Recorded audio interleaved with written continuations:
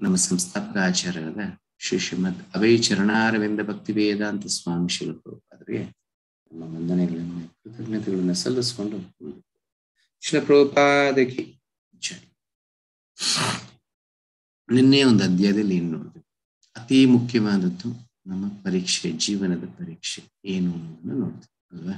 So dead ಅನ್ನೋ ಒಂದು ಅಕ್ರಾನಮಲ್ಲಿ ಮೊದಲನೇದಾಗಿ ಡೌಟ್ಸ್ ಎಂಟು ಪ್ರಶ್ನೆಗಳನ್ನ ಅರ್ಜುನ ಕೇಳ್ತಾನೆ. ಏಳು ಪ್ರಶ್ನೆಗಳಿಗೆ ಉತ್ತರ, ತಕ್ಷಣಕ್ಕೆ ಸಿಗುತ್ತೆ. ಕೊನೆಯ ಪ್ರಶ್ನೆ ಆದ, ಯಾವ ರೀತಿ ಮುಕ್ತಿಯನ್ನು ಹೊಂದುತ್ತೀವಿ? ಇಲ್ಲ, ಈ ಒಂದು ಸಾಯುವ ಸಮಯದಲ್ಲಿ ಭಗವಂತನ ಯಾವ ರೀತಿ ನಾವು ಸ್ಮರಿಸಲು ಸಾಧ್ಯ? ಆ ಒಂದು ಇದಕ್ಕೆ ಕೃಷ್ಣನು ಇಡೀ ಅಧ್ಯಾಯವನ್ನು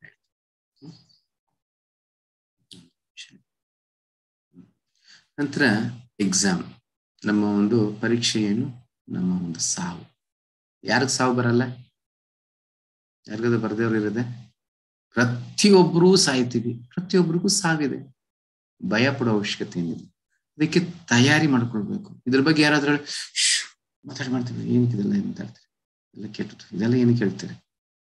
ಚರ್ಚೆ ಮಾಡ್ಬೇಕು, ಹೆಂಗ್ ಸಾಯ್ಬೇಕು? ಅದೇ ತನ್ನ ಜೀವನ. ಅದು ಯಾರು ಗಂಭೀರ ಆಗಿ ತಗೊಳ್ಳೋದೇ ಇಲ್ಲ. ಸಾವಿನ ಬಗ್ಗೆ ಮಾತಾಡಿಲ್ಲ ಅಂದ್ರೆ ಸಾವು ಬರೋದಿಲ್ವಾ? ಅದ್ರ ಬಗ್ಗೆ ಕೇಳಿಸ್ಕೊಳ್ಳಿಲ್ಲ ಅಂದ್ರೆ ಬರೋದಿಲ್ವಾ? ಖಂಡಿತ ಅದು ಬರೋದು ಬಂದೇ ಬರುತ್ತೆ. ಯಾವತ್ತು ಸಾಯ್ಬೇಕು ಅನ್ನೋದಿದೆ ಸಾಯೇ ಸಾಯ್ತೀವಿ ಅದ್ರ ಬಗ್ಗೆ ಚರ್ಚೆ ಮಾಡ್ಬೇಕು. ಅದಕ್ಕೋಸ್ಕರ ನಾನು ಯಾವ ರೀತಿ ತಯಾರಿಗಳನ್ನ ಮಾಡ್ಕೊಂಡಿದ್ದೀನಿ. ಆ ಸಾವು ನಾನ್ ರೆಡಿ ಆಗಿದ್ದೀನಿ ಆ ಪರೀಕ್ಷೆಗೆ. ಅದೇ ಈ ಜೀವನ. ಅದನ್ನ ಭಗವದ್ಗೀತೆ ಹೇಳ್ಕೊಡುತ್ತೆ ಅತಿ ಮುಖ್ಯವಾದ ಒಂದು ಅಂಶ. ನಂತರ ಅಟೈನಿಂಗ್ ದ ಸುಪ್ರೀಂ ಯಾವ ರೀತಿ ನಾವು ತಯಾರಿ ಮಾಡ್ಕೊಂಡಿದ್ದೀವಿ, ಮತ್ತೆ ಯಾವ ರೀತಿ ಭಗವಂತನ ಪ್ರಾಪ್ತಿ ಆಗುತ್ತೆ. ಮತ್ತೆ ಭಕ್ತಿ. ಯಾವ ರೀತಿ ಯೋಗಿ ಆದವನು ಆ ಒಂದು ದೇಹವನ್ನು ಬಿಡಬೇಕು. ಯಾವ ಸಮಯಕ್ಕೆ ಯಾವ ರೀತಿ ತನ್ನ ಚಕ್ರಗಳನ್ನ ಎತ್ಕೊಂಡೋಗ ಆಜ್ಞಾ ಚಕ್ರದಲ್ಲಿ ನಿಲ್ಲಿಸಿ ನಂತರ ಬ್ರಹ್ಮ ನಂತರದಿಂದ ಯಾವ ರೀತಿ ಆತ ಬಿಡ್ತಾನೆ, ಏನು, ಇದನ್ನೆಲ್ಲ ನೋಡ್ತೀವಿ. ಭಕ್ತನಾದವನಿಗೆ ಅಂತ ನಿಯಮಗಳು ಇಲ್ಲ. ಯಾಕೆ? ಆತ ಭಗವಂತನ ಒಟ್ಟಿಗೆ ಇದ್ದಾನೆ. ಸೊ ಇಲ್ಲೇ ಆತನಿಗೆ ಮುಕ್ತಿ ಅನ್ನೋದು ಆಗಿದೆ. ಭಗವಂತನ ಧಾಮ ಅಲ್ಲ. ಈ ಒಂದು ಭೌತಿಕದಲ್ಲೇ ಆತ ಭಕ್ತ, ಭಗವಂತನ ಒಟ್ಟಿಗೆ ಇದ್ದಾನೆ. ಸೊ ಆತನಿಗೆ ಸಾವು, ಜನನ ಎಲ್ಲ ಒಂದೇ. ಸೊ ಅದನ್ನ ಉದಾಹರಣೆ ಸಮೇತ ನೋಡಿದ್ವಿ ಅಲ್ವಾ? ಸೊ ಇವತ್ತು ಅತಿ ಮುಖ್ಯವಾದದ್ದು ಒಂಬತ್ತನೇ ಅಧ್ಯಾಯ. ನಾಲೆಜ್ ಜ್ಞಾನ. ಜ್ಞಾನ ಅಂದ್ರೆ ನಮ್ಗೆ ಗೊತ್ತಿಲ್ಲ. ಹದಿಮೂರನೇ ಅಧ್ಯಾಯದಲ್ಲಿ ಜ್ಞಾನದ ಬಗ್ಗೆ ಇರುತ್ತೆ. ಸೊ ಇಲ್ಲಿ ಅತಿ ಮುಖ್ಯವಾದ, ಶ್ರೇಷ್ಠವಾದ ಜ್ಞಾನ ಏನು ಅನ್ನೋದನ್ನು ತಿಳ್ಕೊಂಡ ರಾಜವಿದ್ಯ ಅಂತ ಇನ್ಕನ್ಸಿವಬಲ್ ರಿಲೇಶನ್ಶಿಪ್ ಜ್ಞಾನ ಅಂದ್ರೆ ಇನ್ನೊಂದು ತಿಳ್ಕೊಳ್ಬೇಕು. ನಮ್ಮ ಭೌತಿಕದ ಜ್ಞಾನ ಅಲ್ಲ ಜ್ಞಾನ ಅಲ್ಲ. ಜ್ಞಾನ ಅಂದ್ರೆ ಏನು? ಲಾಸ್ಟ್ ಟೈಮ್ ಹೇಳ್ದೆ ಅನ್ಸುತ್ತೆ, ಮತ್ತೊಮ್ಮೆ ಹೇಳ್ತೀನಿ. ನಾನು ಯಾರು? ಭಗವಂತನು ಯಾರು? ಅಂದ್ರೆ ನನ್ನ ಸೃಷ್ಟಿಕರ್ತನು ಇಲ್ಲ ಏನೆಲ್ಲ ಸೃಷ್ಟಿಯಾಗಿದೆ, ಎಲ್ಲದ ನಿಯಂತ್ರಕನು ಭಗವಂತನು. ಯಾರು? ನಾನು ಯಾರು? ಭಗವಂತನು ಯಾರು? ಅತಿ ಮುಖ್ಯವಾದುದು. ನನಗೂ ಆತನಿಗೂ ಏನ್ ಸಂಬಂಧ? ಈ ಒಂದು ವಿಚಾರದಲ್ಲಿ ಹಲವಾರು ತತ್ವಗಳನ್ನು ದುಟ್ಕೊಳ್ಳುತ್ತೆ ಹಲವಾರು ರೀತಿಯಲ್ಲಿ, ಹಲವಾರು ಜನರು ಹಲವಾರು ರೀತಿಯಲ್ಲಿ ಭಗವಂತನ ಆರಾಧಿಸ್ತಾರೆ. ಏನು? ಸಂಬಂಧ ಗೊತ್ತಿಲ್ಲದೆ ನನಗೂ ಭಗವಂತನಿಗೆ ಏನು ಸಂಬಂಧ ಅಂತ ಗೊತ್ತಿಲ್ಲದೆ ಅದಕ್ಕೆ ಕೊನೆಯಲ್ಲಿ ಕೃಷ್ಣ ಭಕ್ತಿಯಾಮಾಮ ಅಭಿಜಾನಾತಿ ಯಾವನೇ ತತ್ವ ಭಕ್ತನಿಗೆ ಮಾತ್ರ ಅದು ಅರ್ಥ ಆಗುತ್ತೆ. ನನಗೂ ಆತನಿಗೆ ಏನ್ ಸಂಬಂಧ ಭಕ್ತನಿಗೆ ಮಾತ್ರ ಅರ್ಥ ಆಗುತ್ತೆ. ಈ ಅಧ್ಯಾಯದಲ್ಲಿ ಅತಿ ಮುಖ್ಯವಾಗಿ ಅದರ ಬಗ್ಗೆ ಎಲ್ಲ ತಿಳ್ಕೊಂತೀವಿ. ನಂತರ ನಾನ್ ವರ್ಷಿಪ್ ಯಾರು ಭಗವಂತನ ಪೂಜಿಸೋದಿಲ್ಲ, ಇಲ್ಲ ವಿವಿಧ ವಿಧ ರೀತಿಯಲ್ಲಿ ಯಾವ ರೀತಿಯೆಲ್ಲ ಆರಾಧಿಸ್ತಾರೆ. ಗ್ಲೋರೀಸ್ ಆಫ್ ಭಕ್ತಿ. ಭಕ್ತಿಯ ಶ್ರೇಷ್ಠ. ಏನು ಅದನ್ನು ನೋಡೋಣ. ಸೊ ಯಾವಾಗಲೂ ಹೇಳ್ದಂಗೆ ಒಂದು ಕಥೆಯ ಮುಖಾಂತರ ಪ್ರಾರಂಭ ಮಾಡೋಣ. ಅತಿ ಮುಖ್ಯವಾದದ್ದು, ಜ್ಞಾನ ಹೆಂಗ್ ಬರುತ್ತೆ ಅನ್ಕೊಂಡಿದ್ರೆ ಎಲ್ಲರೂ ತದ್ವಿಧಿ ಪ್ರಣಿಪಾತೇನ ಪರಿಪ್ರಶ್ನೆನ ಸೇವೆಯ ಉಪದೇಶ ಜ್ಞಾನ ಜ್ಞಾನಿನ ತತ್ವ ದರ್ಶನ ಗುರುಗಳ ಮುಖಾಂತರ ಜ್ಞಾನ. ಜ್ಞಾನ ಯಾವತ್ತು ಹೆಂಗ್ ಬರುತ್ತೆ ಅಂದ್ರೆ, ಈ ಒಂದು ಗಂಗ್ ನದಿ ಹಿಂಗ್ ಹರಿತಾಳೆ ಮೇಲಿಂದ ಕೆಳಗಡೆ ಹರಿತಾ ಇರುತ್ತೆ. ಆ ರೀತಿ ಗುರುಗಳಿಂದ ಶಿಷ್ಯನಿಗೆ ಬರುತ್ತೆ. ಗುರು ಕೃಷ್ಯರ ಒಂದು ಸಂಬಂಧ ಹೆಂಗಿರುತ್ತೆ? ಗುರು ಮೇಲಿರ್ತಾನೆ, ಶಿಷ್ಯ ಕೆಳಗಿರ್ತಾನೆ. ಆದ ಕಾರಣ ಆ ಜ್ಞಾನಕ್ಕೆ ಒಳಗಡೆಗೆ ಅರಿತದೆ ಸೊ ನಾವು ಅಷ್ಟೇ ನಮ್ರತೆಯಿಂದ ಇಲ್ಲಿ ಕುಂತ್ಕೊಂಡು ಕೇಳುವಾಗ ಆ ಜ್ಞಾನ ನನ್ನ ಕಿವಿಯ ಮುಖಾಂತರ ಹೃದಯದ ಒಳಗಡೆ ಹೋಗುತ್ತೆ. ನಾವು ನೇರವಾಗಿದ್ದಾಗ ಈ ಕಿವಿಯಿಂದ ಕೇಳಿಸಿ ಈ ಕಿವಿ ಆಚೆ ಹೋಗ್ಬಿಡುತ್ತೆ. ಹೃದಯದೊಳಗಡೆ ಹೋಗಲ್ಲ. ಸೊ ಯಾವಾಗ ಹೃದಯದೊಳಗಡೆ? ನಾನು ಎಷ್ಟು ಕೆಳಗಿದ್ದೀನಿ? ಗುರುಗಳನ್ನ ಒಂದು ವಾಕ್ಯವನ್ನು ಎಷ್ಟು ಶ್ರದ್ಧೆಯಿಂದ ವಹಿಸ್ತಾ ಇದ್ದೀನಿ, ಎಷ್ಟು ನಂಬಿಕೆ ಅದರಲ್ಲಿ ಇಟ್ಟಿದ್ದೀನಿ. ಶ್ರದ್ಧಾ, ಸಾಧು ಸಂಘ ಭಜನ ಕ್ರಿಯೆ ಅನರ್ಥ ನಿವೃತ್ತಿ, ನಿಷ್ಠ, ರುಚಿ, ಆಸಕ್ತಿ, ಭಾವ, ಪ್ರೇಮ, ಎಲ್ಲದಕ್ಕಿಂತ ಒಂಬತ್ತು ಹಂತಗಳಲ್ಲಿರುವ ಭಕ್ತಿಯಲ್ಲಿ ನೋಡಿದ್ರೆ ಅತಿ ಮುಖ್ಯವಾದುದು ಶ್ರದ್ಧಾ, ನಂಬಿಕೆ, ಗುರುಗಳ ವಾಕ್ಯ ಮೇಲೆ ಇರುವಂತಹ ನಂಬಿಕೆ. ಅತಿ ಮುಖ್ಯವಾದ ಒಂದು ಬಾರಿ ಏನಾಗುತ್ತೆ ಅಂದ್ರೆ ಬೃಂದಾವನದಲ್ಲಿ ಒಂದು ಆಶ್ರಮ ಇರುತ್ತೆ. ಆಶ್ರಮದಲ್ಲಿ ಇದು ಆಗಿನ ಕಾಲದಲ್ಲಿ ನಡೆದಂತಹ ಘಟನೆ ಸೊ ಆಗಿನ ಕಾಲದಲ್ಲಿ ಏನು ಆಶ್ರಮದಲ್ಲಿ ಎಲ್ಲರನ್ನು ಸೇವೆಗೆ ಅಂತ ತೊಡಗಿಸೋರು ಬರೋರಿಗೆಲ್ಲ ಒಂಚೂರು ಪ್ರಸಾದ ಕೊಡೋರು ಮತ್ತೆ ಭಗವಂತನ ಬಗ್ಗೆ ಒಂದು ನಾಲ್ಕು ಪ್ರವಚನಗಳು ಪ್ರವಚನ ಮಾಡಿ ಭಗವಂತನ ಸಂದೇಶ ಅನ್ನೋದನ್ನ ಕೊಡೋರು. ಈ ರೀತಿ ಆಗ್ತಿರುವಾಗ ಅಲ್ಲಿ ಶಿಷ್ಯಂದ್ರು ಯಾರು ಬರ್ತಾನೆ ಇರಲ್ಲ ಬಂದ್ರು ಒಂದು ವಾರ, ಹದಿನೈದು ದಿವಸ, ಒಂದ್ ತಿಂಗಳಿಗೆಲ್ಲ ಹೊರಟೋಗ್ಬಿಡೋರು. ಗುರುಗಳಿಗೆ ತುಂಬಾ ಬೇಸರ. ಏನಿದು ಶಿಷ್ಯರು ಯಾರು ಇಲ್ವಲ್ಲ? ಇದನ್ಗೊಂದು ಕೋರಿಕೆ. ಆ ಒಂದು ಆಶ್ರಮದಲ್ಲಿ ಯಾರಿದ್ದಾರೆ ಅಂದ್ರೆ ಸೀತಾರಾಮ ಲಕ್ಷ್ಮಣ, ಹನುಮಂತನ ಒಂದು ವಿಗ್ರಹಕ್ಕೆ ಪೂಜೆ ಮಾಡಿಕೊಂಡು ಅವರ ಒಂದು ಸೇವೆ ಅನ್ನೋದು ಮಾಡ್ತಿದ್ದಾರೆ. ಒಂದು ಆಸೆ, ಅಯೋಧ್ಯೆಗೆ ಹೋಗಿ ನಾನು ಶ್ರೀರಾಮಚಂದ್ರ ದರ್ಶನ ಮಾಡಬೇಕು ಒಂದು ಆಸೆ. ಸೊ ಇಲ್ಲಿ ಆದ್ರೆ ಯಾರಾದ್ರೂ ಶಿಷ್ಯನ ಇಟ್ಟು ಹೋಗ್ಬೋದು, ಈ ಒಬ್ರು ಶಿಷ್ಯರು ಇಲ್ಲ ಏನ್ ಮಾಡೋದು? ಈ ರೀತಿ ಆಗ್ತಾರೆ. ಒಂದು ಶಿಷ್ಯ ಸೇರ್ಕೊತಾನೆ. ಒಂದು ತಿಂಗಳಿರ್ತಾನೆ ಒಂದು ತಿಂಗಳಿದ್ದಾಗ ಇದನ್ ಸಂತೋಷ. ಅಟ್ಲೀಸ್ಟ್ ಒಂಚೂರು ಕಲ್ತಿದ್ದಾನೆ. ಇದನ್ನ ಬಿಟ್ಟು ಹೋಗ್ಬಿಟ್ಟು ನೀನು ಇದನ್ನು ಹೋಗ್ಬಿಟ್ರೆ ನಾನು ಅಯೋಧ್ಯೆ ದರ್ಶನ ಮಾಡ್ತಾರೆ ಸೊ ಶಿಷ್ಯನಿಗೆ ಹೇಳ್ತೀನಿ, ನೋಡು, ನಾನು ಅಯೋಧ್ಯೆಗೆ ಹೋಗಿ ಬರ್ತೀನಿ. ಹೋಗಿ ಬರೋದಕ್ಕೆ ಕಚ್ಚಿ ಹೆಚ್ಚು ಕಡಿಮೆ ಒಂದ್ ಎರಡು ಮೂರು ತಿಂಗಳು ಆಗುತ್ತೆ ಯಾಕಂದ್ರೆ ಕಾಲದ ಹೋಗೋದು, ಬರೋದೆಲ್ಲ ಲೇಟ್ ನಡ್ಕೊಂಡು ಹೋಗ್ಬೇಕು, ನಡ್ಕೊಂಡ್ ಬರ್ಬೇಕು ಎರಡ್ ಮೂರು ತಿಂಗಳು ಆಗುತ್ತೆ ನಾನು ಅಲ್ಲಿ ದೇವಸ್ಥಾನದಲ್ಲಿ ಭಗವಂತನ ದರ್ಶನ ಮಾಡ್ಕೊಂಡ್ ಬರ್ತೀನಿ, ಅಯೋಧ್ಯೆಗೆ ಹೋಗಿ ನೀನ್ ಇಲ್ಲಿ ಸೇವೆ ಮಾಡು. ಗುರುಗಳೇ, ನನ್ಗೆ ಏನ್ ಗೊತ್ತು ಇಲ್ಲಿ? ನಾನು ಹೊಸದಾಗಿ ಬಂದಿದ್ದೀನಿ. ನನ್ಗೆ ಏನು ಗೊತ್ತಿಲ್ಲ, ದಯವಿಟ್ಟು ನನ್ನ ಕೈಯಲ್ಲಿ ಆಗಲ್ಲ ಅವಾಗ ಹೇಳ್ತೀನಿ, ಅರೆ ಶ್ರೀರಾಮಚಂದ್ರ ಇಲ್ಲೇ ಇದ್ದಾನೆ, ಸೀತಾರಾಮ, ಹನುಮಂತ ಎಲ್ಲರೂ ಇದ್ದಾರೆ. ನಿನ್ಗೆ ಏನಾದ್ರು ಕಷ್ಟ ಬಂದಾಗ ಅವ್ರ ಹತ್ರ ಕೇಳ್ಕೊ, ಅವ್ರು ನಿನ್ ಸಹಾಯ ಮಾಡ್ತಾರೆ. ಗುರುಗಳು ವಾಕ್ಯ ಮೇಲೆ ನಂಬಿಕೆ. ಸರಿ ಗುರುಗಳು. ಸರಿ ಗುರುಗಳು ಏನ್ ಮಾಡ್ತಾರೆ? ಅಯೋಧ್ಯೆ ಬಂತು ನೋಡು ಮಾರ್ಕೆಟ್ಗೆ ಹೋಗ್ಬೇಕು, ತರಕಾರಿ ದಿವಸ ಧಾನ್ಯ ಏನೆಲ್ಲ ಅದೆಲ್ಲ ತರಬೇಕು, ಅಂತಂದು ಅಡಿಗೆ ಮಾಡ್ಬೇಕು, ಅಡಿಗೆ ಮಾಡಿ ಎಲ್ಲರಿಗೂ ಪ್ರಸಾದ ಹಂಚಬೇಕು, ನಂತರ ಪ್ರವಚನ ಕೊಡಬೇಕು. ಇಷ್ಟೆಲ್ಲಾ ಕೆಲ್ಸಗಳಿದೆ. ಈತನು ಒಬ್ಬಂಟಿಯಾಗಿ ಮಾಡಕ್ ಆಗ್ತಾ ಇಲ್ಲ ಈತನ ಕೈಯಲ್ಲಿ. ಏನ್ ಮಾಡ್ತಾನೆ? ಸರಿ, ಹೆಂಗಿದ್ರು ಶ್ರೀರಾಮಚಂದ್ರ ಹತ್ರ ಹನುಮಂತನ್ ಏನ್ ಮಾಡ್ತಾನೆ? ಕೈ ಜೋಡಿಸ್ಕೊಂಡು ಸುಮ್ಮನೆ ಕುಂತಿದ್ದಾನೆ. ಆತನು ಕರಿಯಣ್ಣ. ಸೊ ಅಲ್ಲಿ ಹೋಗಿ ಹನುಮಂತನ ಕರಿತಾನೆ. ನೋಡು, ನೀನು ಯಾವತ್ತಿದ್ರು ಸುಮ್ನೆ ಕುಂತಿರ್ತೀಯ ಭಗವಂತನ ಹತ್ರ. ನಾನು ಬಂದು ಒಂಚೂರು ಸಹಾಯ ಮಾಡ್ಬೋದಲ್ಲ, ಸೇವೆ ಮಾಡ್ಬೋದಲ್ಲ. ಅಂದ್ರೆ ಆತ ನಿಲ್, ನಿರ್, ಕಲ್ಮಶವಾದ ಮನಸ್ಸಿನಿಂದ ಕೇಳಿದಂತ ಇದಕ್ಕೆ ಹನುಮಂತನು ಬರ್ತಾನೆ. ಸರಿ ಏನ್ ಸಹಾಯ ಮಾಡ್ಬೇಕು? ನೋಡು ಕಂಡೀಷನ್ ಆಗ್ತಾನೆ ಮೊದ್ಲೇ. ಈ ಒಂದು ಇದ್ರಲ್ಲಿ ರಾಮಾಯಣದಲ್ಲಿ ನೀನ್ ಮಾಡಿದ ತರ ಮಾಡಬಾರ್ದು. ಹೋಗಿ ಸಂಜೀವಿನಿ ತಗೊಂಡ್ಬಂದ್ರೆ ಪರ್ವತ ಎತ್ಕೊಂಡ್ ಬರ್ಬಾರ್ದು ಇನ್ನೇನು ನನಗೆ ತರಕಾರಿಗಳು ಬೇಕು, ಈ ಒಂದು ಧಾನ್ಯ ಎಲ್ಲ ಬೇಕಾಗುತ್ತೆ. ಇದನ್ನೆಲ್ಲ ನಾನು ಲಿಸ್ಟ್ ಕೊಡ್ತೀನಿ, ಇದನ್ನೆಲ್ಲ ಹೋಗಿ ನೀನು ತಗೊಂಡ್ಬರ್ಬೇಕು ಅಷ್ಟು ಏನ್ ಹೇಳ್ತೀನಿ ಅದನ್ನ ಮಾತ್ರ ತರಬೇಕು ಮಾರ್ಕೆಟ್ ಮಾರ್ಕೆಟ್ ಎಲ್ಲ ಹೊತ್ಕೊಂಡ್ ಬರಬಾರ್ದು ಸರಿ, ಆಯ್ತು. ಇನ್ಸ್ಟ್ರಕ್ಷನ್ಸ್ ಎಲ್ಲ ಕೊಟ್ಟೆ, ಆತನಿಗೆ ದುಡ್ಡು ಕೊಟ್ಟು ಕಳಿಸ್ತಾನೆ. ಸೊ ಇಲ್ಲಿಂದ ಅಲ್ಲಿ ಜಿಗಿತಾನೆ ಹನುಮಂತನು. ಆ ಮಾರ್ಕೆಟ್ ಅಲ್ಲಿ ಏನಾದ್ರೆ ತಗೊಂತ ಅಲ್ಲಿಂದ ಇಲ್ಲಿ ಜಿಗಿತಾನೆ ಎತ್ಕೊಂಡ್ಬಂದು ಕೊಡ್ತಾನೆ, ತಕ್ಷಣಕ್ಕೆ ಕೊಡ್ತಾನೆ. ಸಂತೋಷ ತುಂಬಾ ಬೇಗ ಆಗೋಯ್ತು ಅಂತ ಅಡಿಗೆ ಬೇಗ ಬೇಗ ಮಾಡ್ಬಿಟ್ಟು ಈತನ ಒಂದು ಇದು ಮಾಡ್ತಾನೆ. ಸೊ ಈ ರೀತಿ ಮಾಡುವಾಗ ಜನ ಹಂಗೆ ಜಾಸ್ತಿ ಆಗ್ತಾ ಇದೆ. ಜನ ಜಾಸ್ತಿ ಆಗ್ತಾ ಇದಾರಲ್ಲ ಇವಾಗ ಏನ್ ಮಾಡ್ತಾನೆ ಅಂದ್ರೆ ಈತ ಅಡಿಗೆ ಮಾಡ್ತಾ ಇದ್ದಾನೆ. ಅಡಿಗೆ ಮಾಡ್ತಾ ಇರೋವಾಗ ಏನಾಗುತ್ತೆ ಅಂದ್ರೆ ಈ ಒಂದು ಪ್ರವಚನ ಕೊಡೋದಕ್ಕೆ ಸಮಯ ಇಲ್ಲ. ಅಡಿಗೆ ಮಾಡಿ ಪ್ರಸಾದ ಬಡಿಸೋ ಅಷ್ಟೊತ್ತಿಗೆ ಎಲ್ಲರೂ ಹೋಗ್ಬಿಡ್ತಾ ಇದ್ರು. ಅರೆ ರೇ, ಬರೀ ಪ್ರಸಾದ ತಿಂದು ಹೋಗೋದಕ್ಕೆ ಏನಕ್ಕೆ? ಎಲ್ಲರಿಗೂ ಭಗವಂತನ ಸಂದೇಶ ಕೊಡ್ಬೇಕಲ್ಲ. ಏನ್ ಮಾಡೋದು? ಅರೆ ಲಕ್ಷ್ಮಣ್ಣ ಕೇಳೋಣ. ಅವ್ರ ಅಣ್ಣನಿಗಿಂತ, ಅಣ್ಣನ ಬಗ್ಗೆ ಆತ ಹೇಳೋದಕ್ಕಿಂತ ಇನ್ ಯಾರು ಶ್ರೇಷ್ಠವಾಗಿ ಹೇಳಕ್ ಸಾಧ್ಯ ಅಂತ ಹೋಗಿ ಲಕ್ಷ್ಮಣ್ ಕರಿತಾನೆ ಲಕ್ಷ್ಮಣ, ನೀನ್ ಬಂದು ನನ್ಗೆ ಸಹಾಯ ಮಾಡು ಪ್ರವಚನ. ಸರಿ, ಲಕ್ಷ್ಮಣ ಬರ್ತಾನೆ. ಲಕ್ಷ್ಮಣ ಬಂದು ಆ ಒಂದು ಶ್ರೀರಾಮಚಂದ್ರ ಬಗ್ಗೆ ಹೇಳ್ತಾರೆ ಇರುವಾಗ, ಅವನು ತಿಳ್ಕೊಳ್ಬೋದು, ಆ ಒಂದು ಇದು ಯಾವ ರೀತಿ ತುಂಬುತ್ತೆ ಅನ್ನೋದು. ಆಶ್ರಮದಲ್ಲಿ ಜನರು ಬಂದು ಒಂದು ಸರಿ ಕೇಳಿರೋರು ಬಿಟ್ಟು ಹೋಗೋದಕ್ಕೆ ಮನಸ್ಸೇ ಬರಲ್ಲ. ಮತ್ತೆ ಮತ್ತೆ ಮತ್ತೆ ಮತ್ತೆ ಬರ್ತಾ ಇರ್ತಾರೆ. ಶ್ರೀರಾಮಚಂದ್ರ ಬಗ್ಗೆ ಕೇಳ್, ಕೇಳ್ಕೊಳ್ಳೋದಕ್ಕೆ. ಇವಾಗ ಏನಾಯ್ತು? ಜನ ಜಾಸ್ತಿ ಆಗೋದು. ಮಾರ್ಕೆಟ್ ಇಂದ ತರೋದೇನೋ ಆಗೋಯ್ತು. ಇದನ್ ಕೈಯಲ್ಲಿ ಅಡಿಗೆ ಮಾಡಕ್ ಆಗ್ತಾ ಇಲ್ಲ ಇವಾಗ.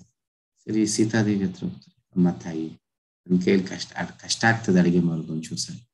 ಆಯ್ತು, ನಾನ್ ಬರ್ತೀನಿ. ಅಂದ್ರೆ ತಾಯಿ, ಆ ಮನಸ್ಸು ಸರಿ ಅಂತ ಕೇಳ್ದೇನೆ ಬಂದ್ಬಿಡ್ತಾರೆ. ಬಂದ್ ಏನ್ ಮಾಡ್ತಾರೆ? ಈ ಅಡಿಗೆ ಮಾಡೋದ್ರಲ್ಲಿ ಸಹಾಯ ಮಾಡ್ತಾರೆ ಇನ್ನ ಸೀತಾದೇವಿಯ ಅಡಿಗೆಯನ್ನು ತಿನ್ನುವಾಗ ಆ ರುಚಿ ಹೆಂಗಿರುತ್ತೆ, ಪ್ರಸಾದ ಹೆಂಗಿರುತ್ತೆ? ಸೊ ಪ್ರವಚನ ಕೇಳೇ ಅಷ್ಟು ಜನ ತುಂಬೋರು ಇವಾಗ. ಪ್ರಸಾದ ತಿಂದವ್ರು ಇನ್ ಯಾವ ರೀತಿ ಬರ್ತಾರೆ? ತಂಡೋಪತಂಡವಾಗಿ ಏನ್ ಆಶ್ರಮ ಒಳ್ಳೆ ದುಡ್ಡು ಇದ್ರ ತರ ತುಂಬೋಗ್ತಾ ಇದಾರೆ. ಇವಾಗ ಏನಾಗುತ್ತೆ? ಅಷ್ಟು ಜನ ತುಂಬುವಾಗ ದುಡ್ಡು ಕಾಸಿನ ವ್ಯವಹಾರ ಹೆಚ್ಚಿಗೆ ಆಗ್ತಾ ಇರ್ತದೆ ಬರೋರೆಲ್ಲ ದುಡ್ಡು ಕೊಡ್ತಾರೆ. ಏನು ಪ್ರಸಾದ ತಗೊಂತಾರಲ್ಲ ಒಂಚೂರು ದಾನ ಅನ್ನೋದನ್ನ ಮಾಡ್ತಾರೆ, ಅದಕ್ಕೆಲ್ಲ ತರ್ಗೋಬಾರ್ದು ಏನಕ್ಕೆ ಬೇಕಾಗುತ್ತೆ ಅಂತ ಕೊಡ್ತಾ ಇರ್ತಾರೆ. ಖರ್ಚುಗಳು ಜಾಸ್ತಿ ಇತ್ತು ಅರೆ ಗುರುಗಳು ಬರ್ತಾರೆ. ಗುರುಗಳು ಬಂದಾಗ ಲೆಕ್ಕ ಹೆಂಗ್ ತೋರ್ಸೋದ್ ನಾನು? ನನ್ನಿರೋ ಮಿತಿಯಾದ ಬುದ್ಧಿಗೆ ನಾನು ಎಷ್ಟು ಲೆಕ್ಕ ಹಾಕಕ್ಕಾಗುತ್ತೆ? ಗುರುಗಳು ಲೆಕ್ಕ ಕೇಳಿದಾಗ ನನ್ಗೆ ಕೊಡಕ್ಕಾಗಲ್ವಲ್ಲ? ಮತ್ತೆ ಶ್ರೀರಾಮಚಂದ್ರ ಹತ್ರ ಹೋಗ್ತಾರೆ. ನೀವು ರಾಜರಾಗಿದ್ದಾರೆ, ಕ್ಷತ್ರಿಯರು, ನೀವು ರಾಜರು, ನಿಮಗೆ ಲೆಕ್ಕ ನಾನು ಹೇಳ್ಕೊಡ್ಬೇಕಾ? ಇನ್ನೊಂದು, ಈ ಒಂದು ಆಶ್ರಮ ನಿಮ್ಮದೇ. ಆದ ಕಾರಣ ನೀವೇ ಇದಕ್ಕೆಲ್ಲ ಲೆಕ್ಕ ಇಡಬೇಕು. ಗುರುಗಳು ಬಂದಾಗ ಲೆಕ್ಕ ಹೇಳಿಲ್ಲ ಅಂದ್ರೆ ಅವ್ರು ಕೋಪಗೊಳ್ತಾರೆ. ಆ ಲೆಜ್ಜರ್ ಎಲ್ಲ ಏನಿದೆ ಅದೆಲ್ಲ ಎತ್ಕೊಂಡು ಹೋಗಿ ಶ್ರೀರಾಮಚಂದ್ರ ಹತ್ರ ಕೊಡ್ತಾರೆ. ಶ್ರೀರಾಮ್, ಸರಿ ಆಯ್ತಪ್ಪ ಅವ್ರು ತಗೊಂಡು ಅವ್ರ ಲೆಕ್ಕ ಬರೀತಾರೆ ಈ ರೀತಿಯಾಗಿ ನಡೆಯುವಾಗ ಸ್ವಲ್ಪ ದಿವಸ ಆದ್ಮೇಲೆ ಗುರುಗಳು ಬರ್ತಾರೆ. ಬಂದ್ ನೋಡಿದ್ರೆ ಆಶ್ರಮ ಇದ್ ನಂದ ಇಲ್ವಾ ಅನ್ಸ್ಬಿಡುತ್ತೆ. ದಂಡೋಪದನ ಅಷ್ಟು ಜನರು ಸೇರಿರ್ತಾರೆ, ಆ ರೀತಿ ನಡೀತಾ ಇರುತ್ತೆ. ಅವಾಗ ಶಿಷ್ಯನ ಕರ್ತಾರೆ, ಏನಾಯ್ತಪ್ಪ, ಏನು? ಇಲ್ಲ ಗುರುಗಳೇ, ನಿಮ್ಮ ವಾಕ್ಯವನ್ನು ಪರಿಪಾಲನೆ ಮಾಡ್ತೀನಿ. ನೀವೇನು ಹೇಳಿದ್ರೆ ಅದನ್ನ ನಾನು ಮಾಡ್ತಿದ್ದೀನಿ. ಸೊ, ಜನರೆಲ್ಲ ತುಂಬ್ತಾ ಇದ್ದಾರೆ. ಏನಪ್ಪ ಮಾಡಿದೆ ಅಂತದ್ದು? ನೀವ್ ಹೇಳಿದ್ರಿ, ನನ್ನ ಕೈಯಲ್ಲಿ ಆಗಿಲ್ಲ ಅಂದ್ರೆ ಭಗವಂತ ಹತ್ರ ಸಹಾಯ ಕೇಳು ಅಂತ. ನಾನು ಹೋಗಿ ಸಹಾಯ ಕೇಳಿದೆ. ನೋಡಿ, ಈ ರೀತಿ ಹನುಮಂತನು ಬಂದು ತರಕಾರಿಗಳನ್ನ ತಗೊಂಡ್ ಬರ್ತಾನೆ ಆ ಲಕ್ಷ್ಮಣ ಬಂದು ಪ್ರವಚನ ಕೊಡ್ತಿದ್ದಾನೆ.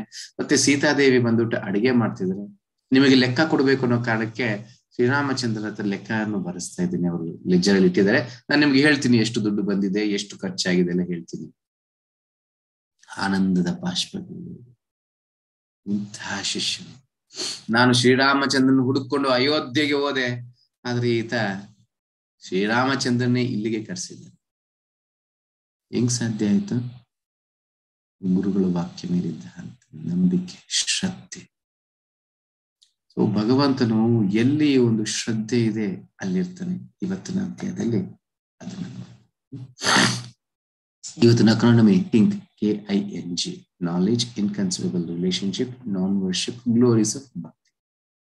Knowledge ಜ್ಞಾನ ಹೆಂಗ್ ಬರುತ್ತೆ? ಡಿಗ್ರಿ ಆಫ್ ಕಾನ್ಫಿಡೆನ್ಷಿಯಲ್ ನಾಲೆಜ್ ನೋಡಿ ಜ್ಞಾನನೂ ಅಷ್ಟೇ. ಕೃಷ್ಣನ ಮೊದಲನೇ ಎರಡನೇ ಅಧ್ಯಾಯದಲ್ಲಿ ಹೇಳ್ತೀನಿ ರಹಸ್ಯವಾದ ಜ್ಞಾನ.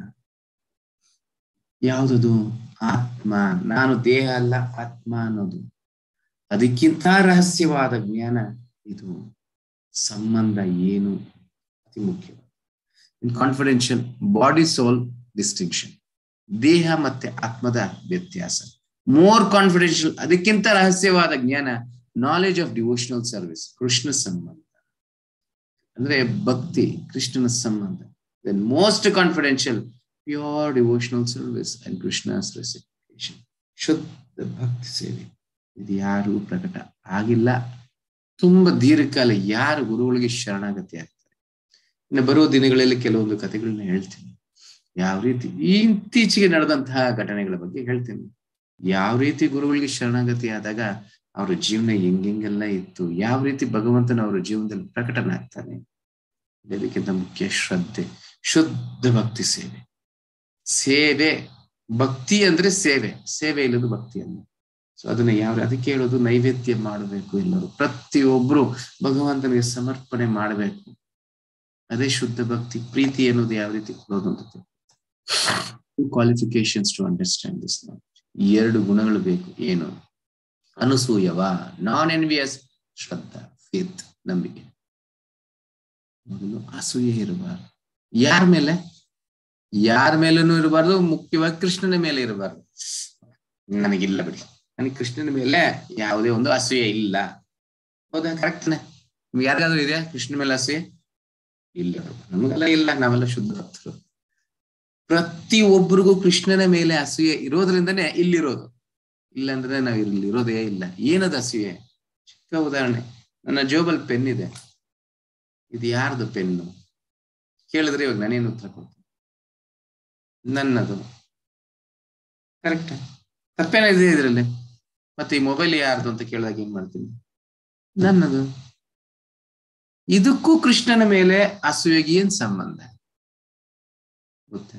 ಪ್ರತಿಯೊಂದು ಕೃಷ್ಣನ ಸೃಷ್ಟಿ ಎಲ್ಲವೂ ಕೃಷ್ಣನಿಗೆ ಸೇರುತ್ತೆ. ಆದ್ರೆ ನಂದು ಅಂತ ಹೇಳ್ತಿದ್ದೀನಿ ಅಂದ್ರೆ ಕಾಂಪಿಟೇಟರ್. ಕೃಷ್ಣನ ಜೊತೆಗೆ ನಾನು ಕಾಂಪೀಟ್ ಮಾಡ್ತಿದ್ದೀನಿ. ನಿಂದು ಇದು ಇದು ನಂದು. ಕೃಷ್ಣನಿಗೆ ಸಮಾನವಾಗಿರೋಕೆ ಪ್ರಯತ್ನ ಮಾಡ್ತಿದ್ದೀನಿ. ಕೃಷ್ಣನ ಸಮಾನ ಎಲ್ಲ ಸೃಷ್ಟಿಗಳ ಕೆಲಾಂಡಗೋಟಿ ಬ್ರಹ್ಮಾಂಡ ನಾಯಕನು. ನಾನು ಒಂದೊಂದೇ ಆಕ್ರಮಿಸ್ಕೊಂಡು ಆಕ್ರಮಿಸ್ಕೊಂಡು ನಾನ್ ದೊಡ್ಡವನ ಆಗ್ತಿದ್ದು ನಾನ್ ದೊಡ್ಡವನಾಗ್ಬೇಕು. ಕೃಷ್ಣನ್ ಸಮಾನ ಆಗ್ಬಿಡ್ಬೇಕು ಏನೇ ಕಶಿಪು ರಾವಣ ಇರೋದೆಲ್ಲ ಏನ್ ಮಾಡುದು? ಅದನ್ನೇ ಮಾಡಿದ್ದು. ಮೂರು ಲೋಕಗಳನ್ನ ಆಕ್ರಮಿಸ್ಕೊಂಡು ನಾನು ಭಗವಂತನ ಸಮಾನ ಆಗ್ಬೇಕು ನಾವೆಲ್ಲ ಚಿಕ್ಕ ಚಿಕ್ಕ ರಾವಣರು, ಚಿಕ್ಕ ಚಿಕ್ಕ ಎಲ್ಲಿನ ಕಶಿಪುಗಳು. ಈ ಒಂದು ಪೆನ್ನು ನಂದು, ಮೊಬೈಲ್ ನಂದು, ಮನೆ ನಂದು, ಇದೆಲ್ಲ ಒಂದೊಂದು ಆಕ್ರಮಿಸ್ಕೊಂಡು ನಾನು ದೊಡ್ಡವನಾಗ್ಬೇಕು. ಕೃಷ್ಣನ ಮೇಲೆ ಅಸೂಯೆ.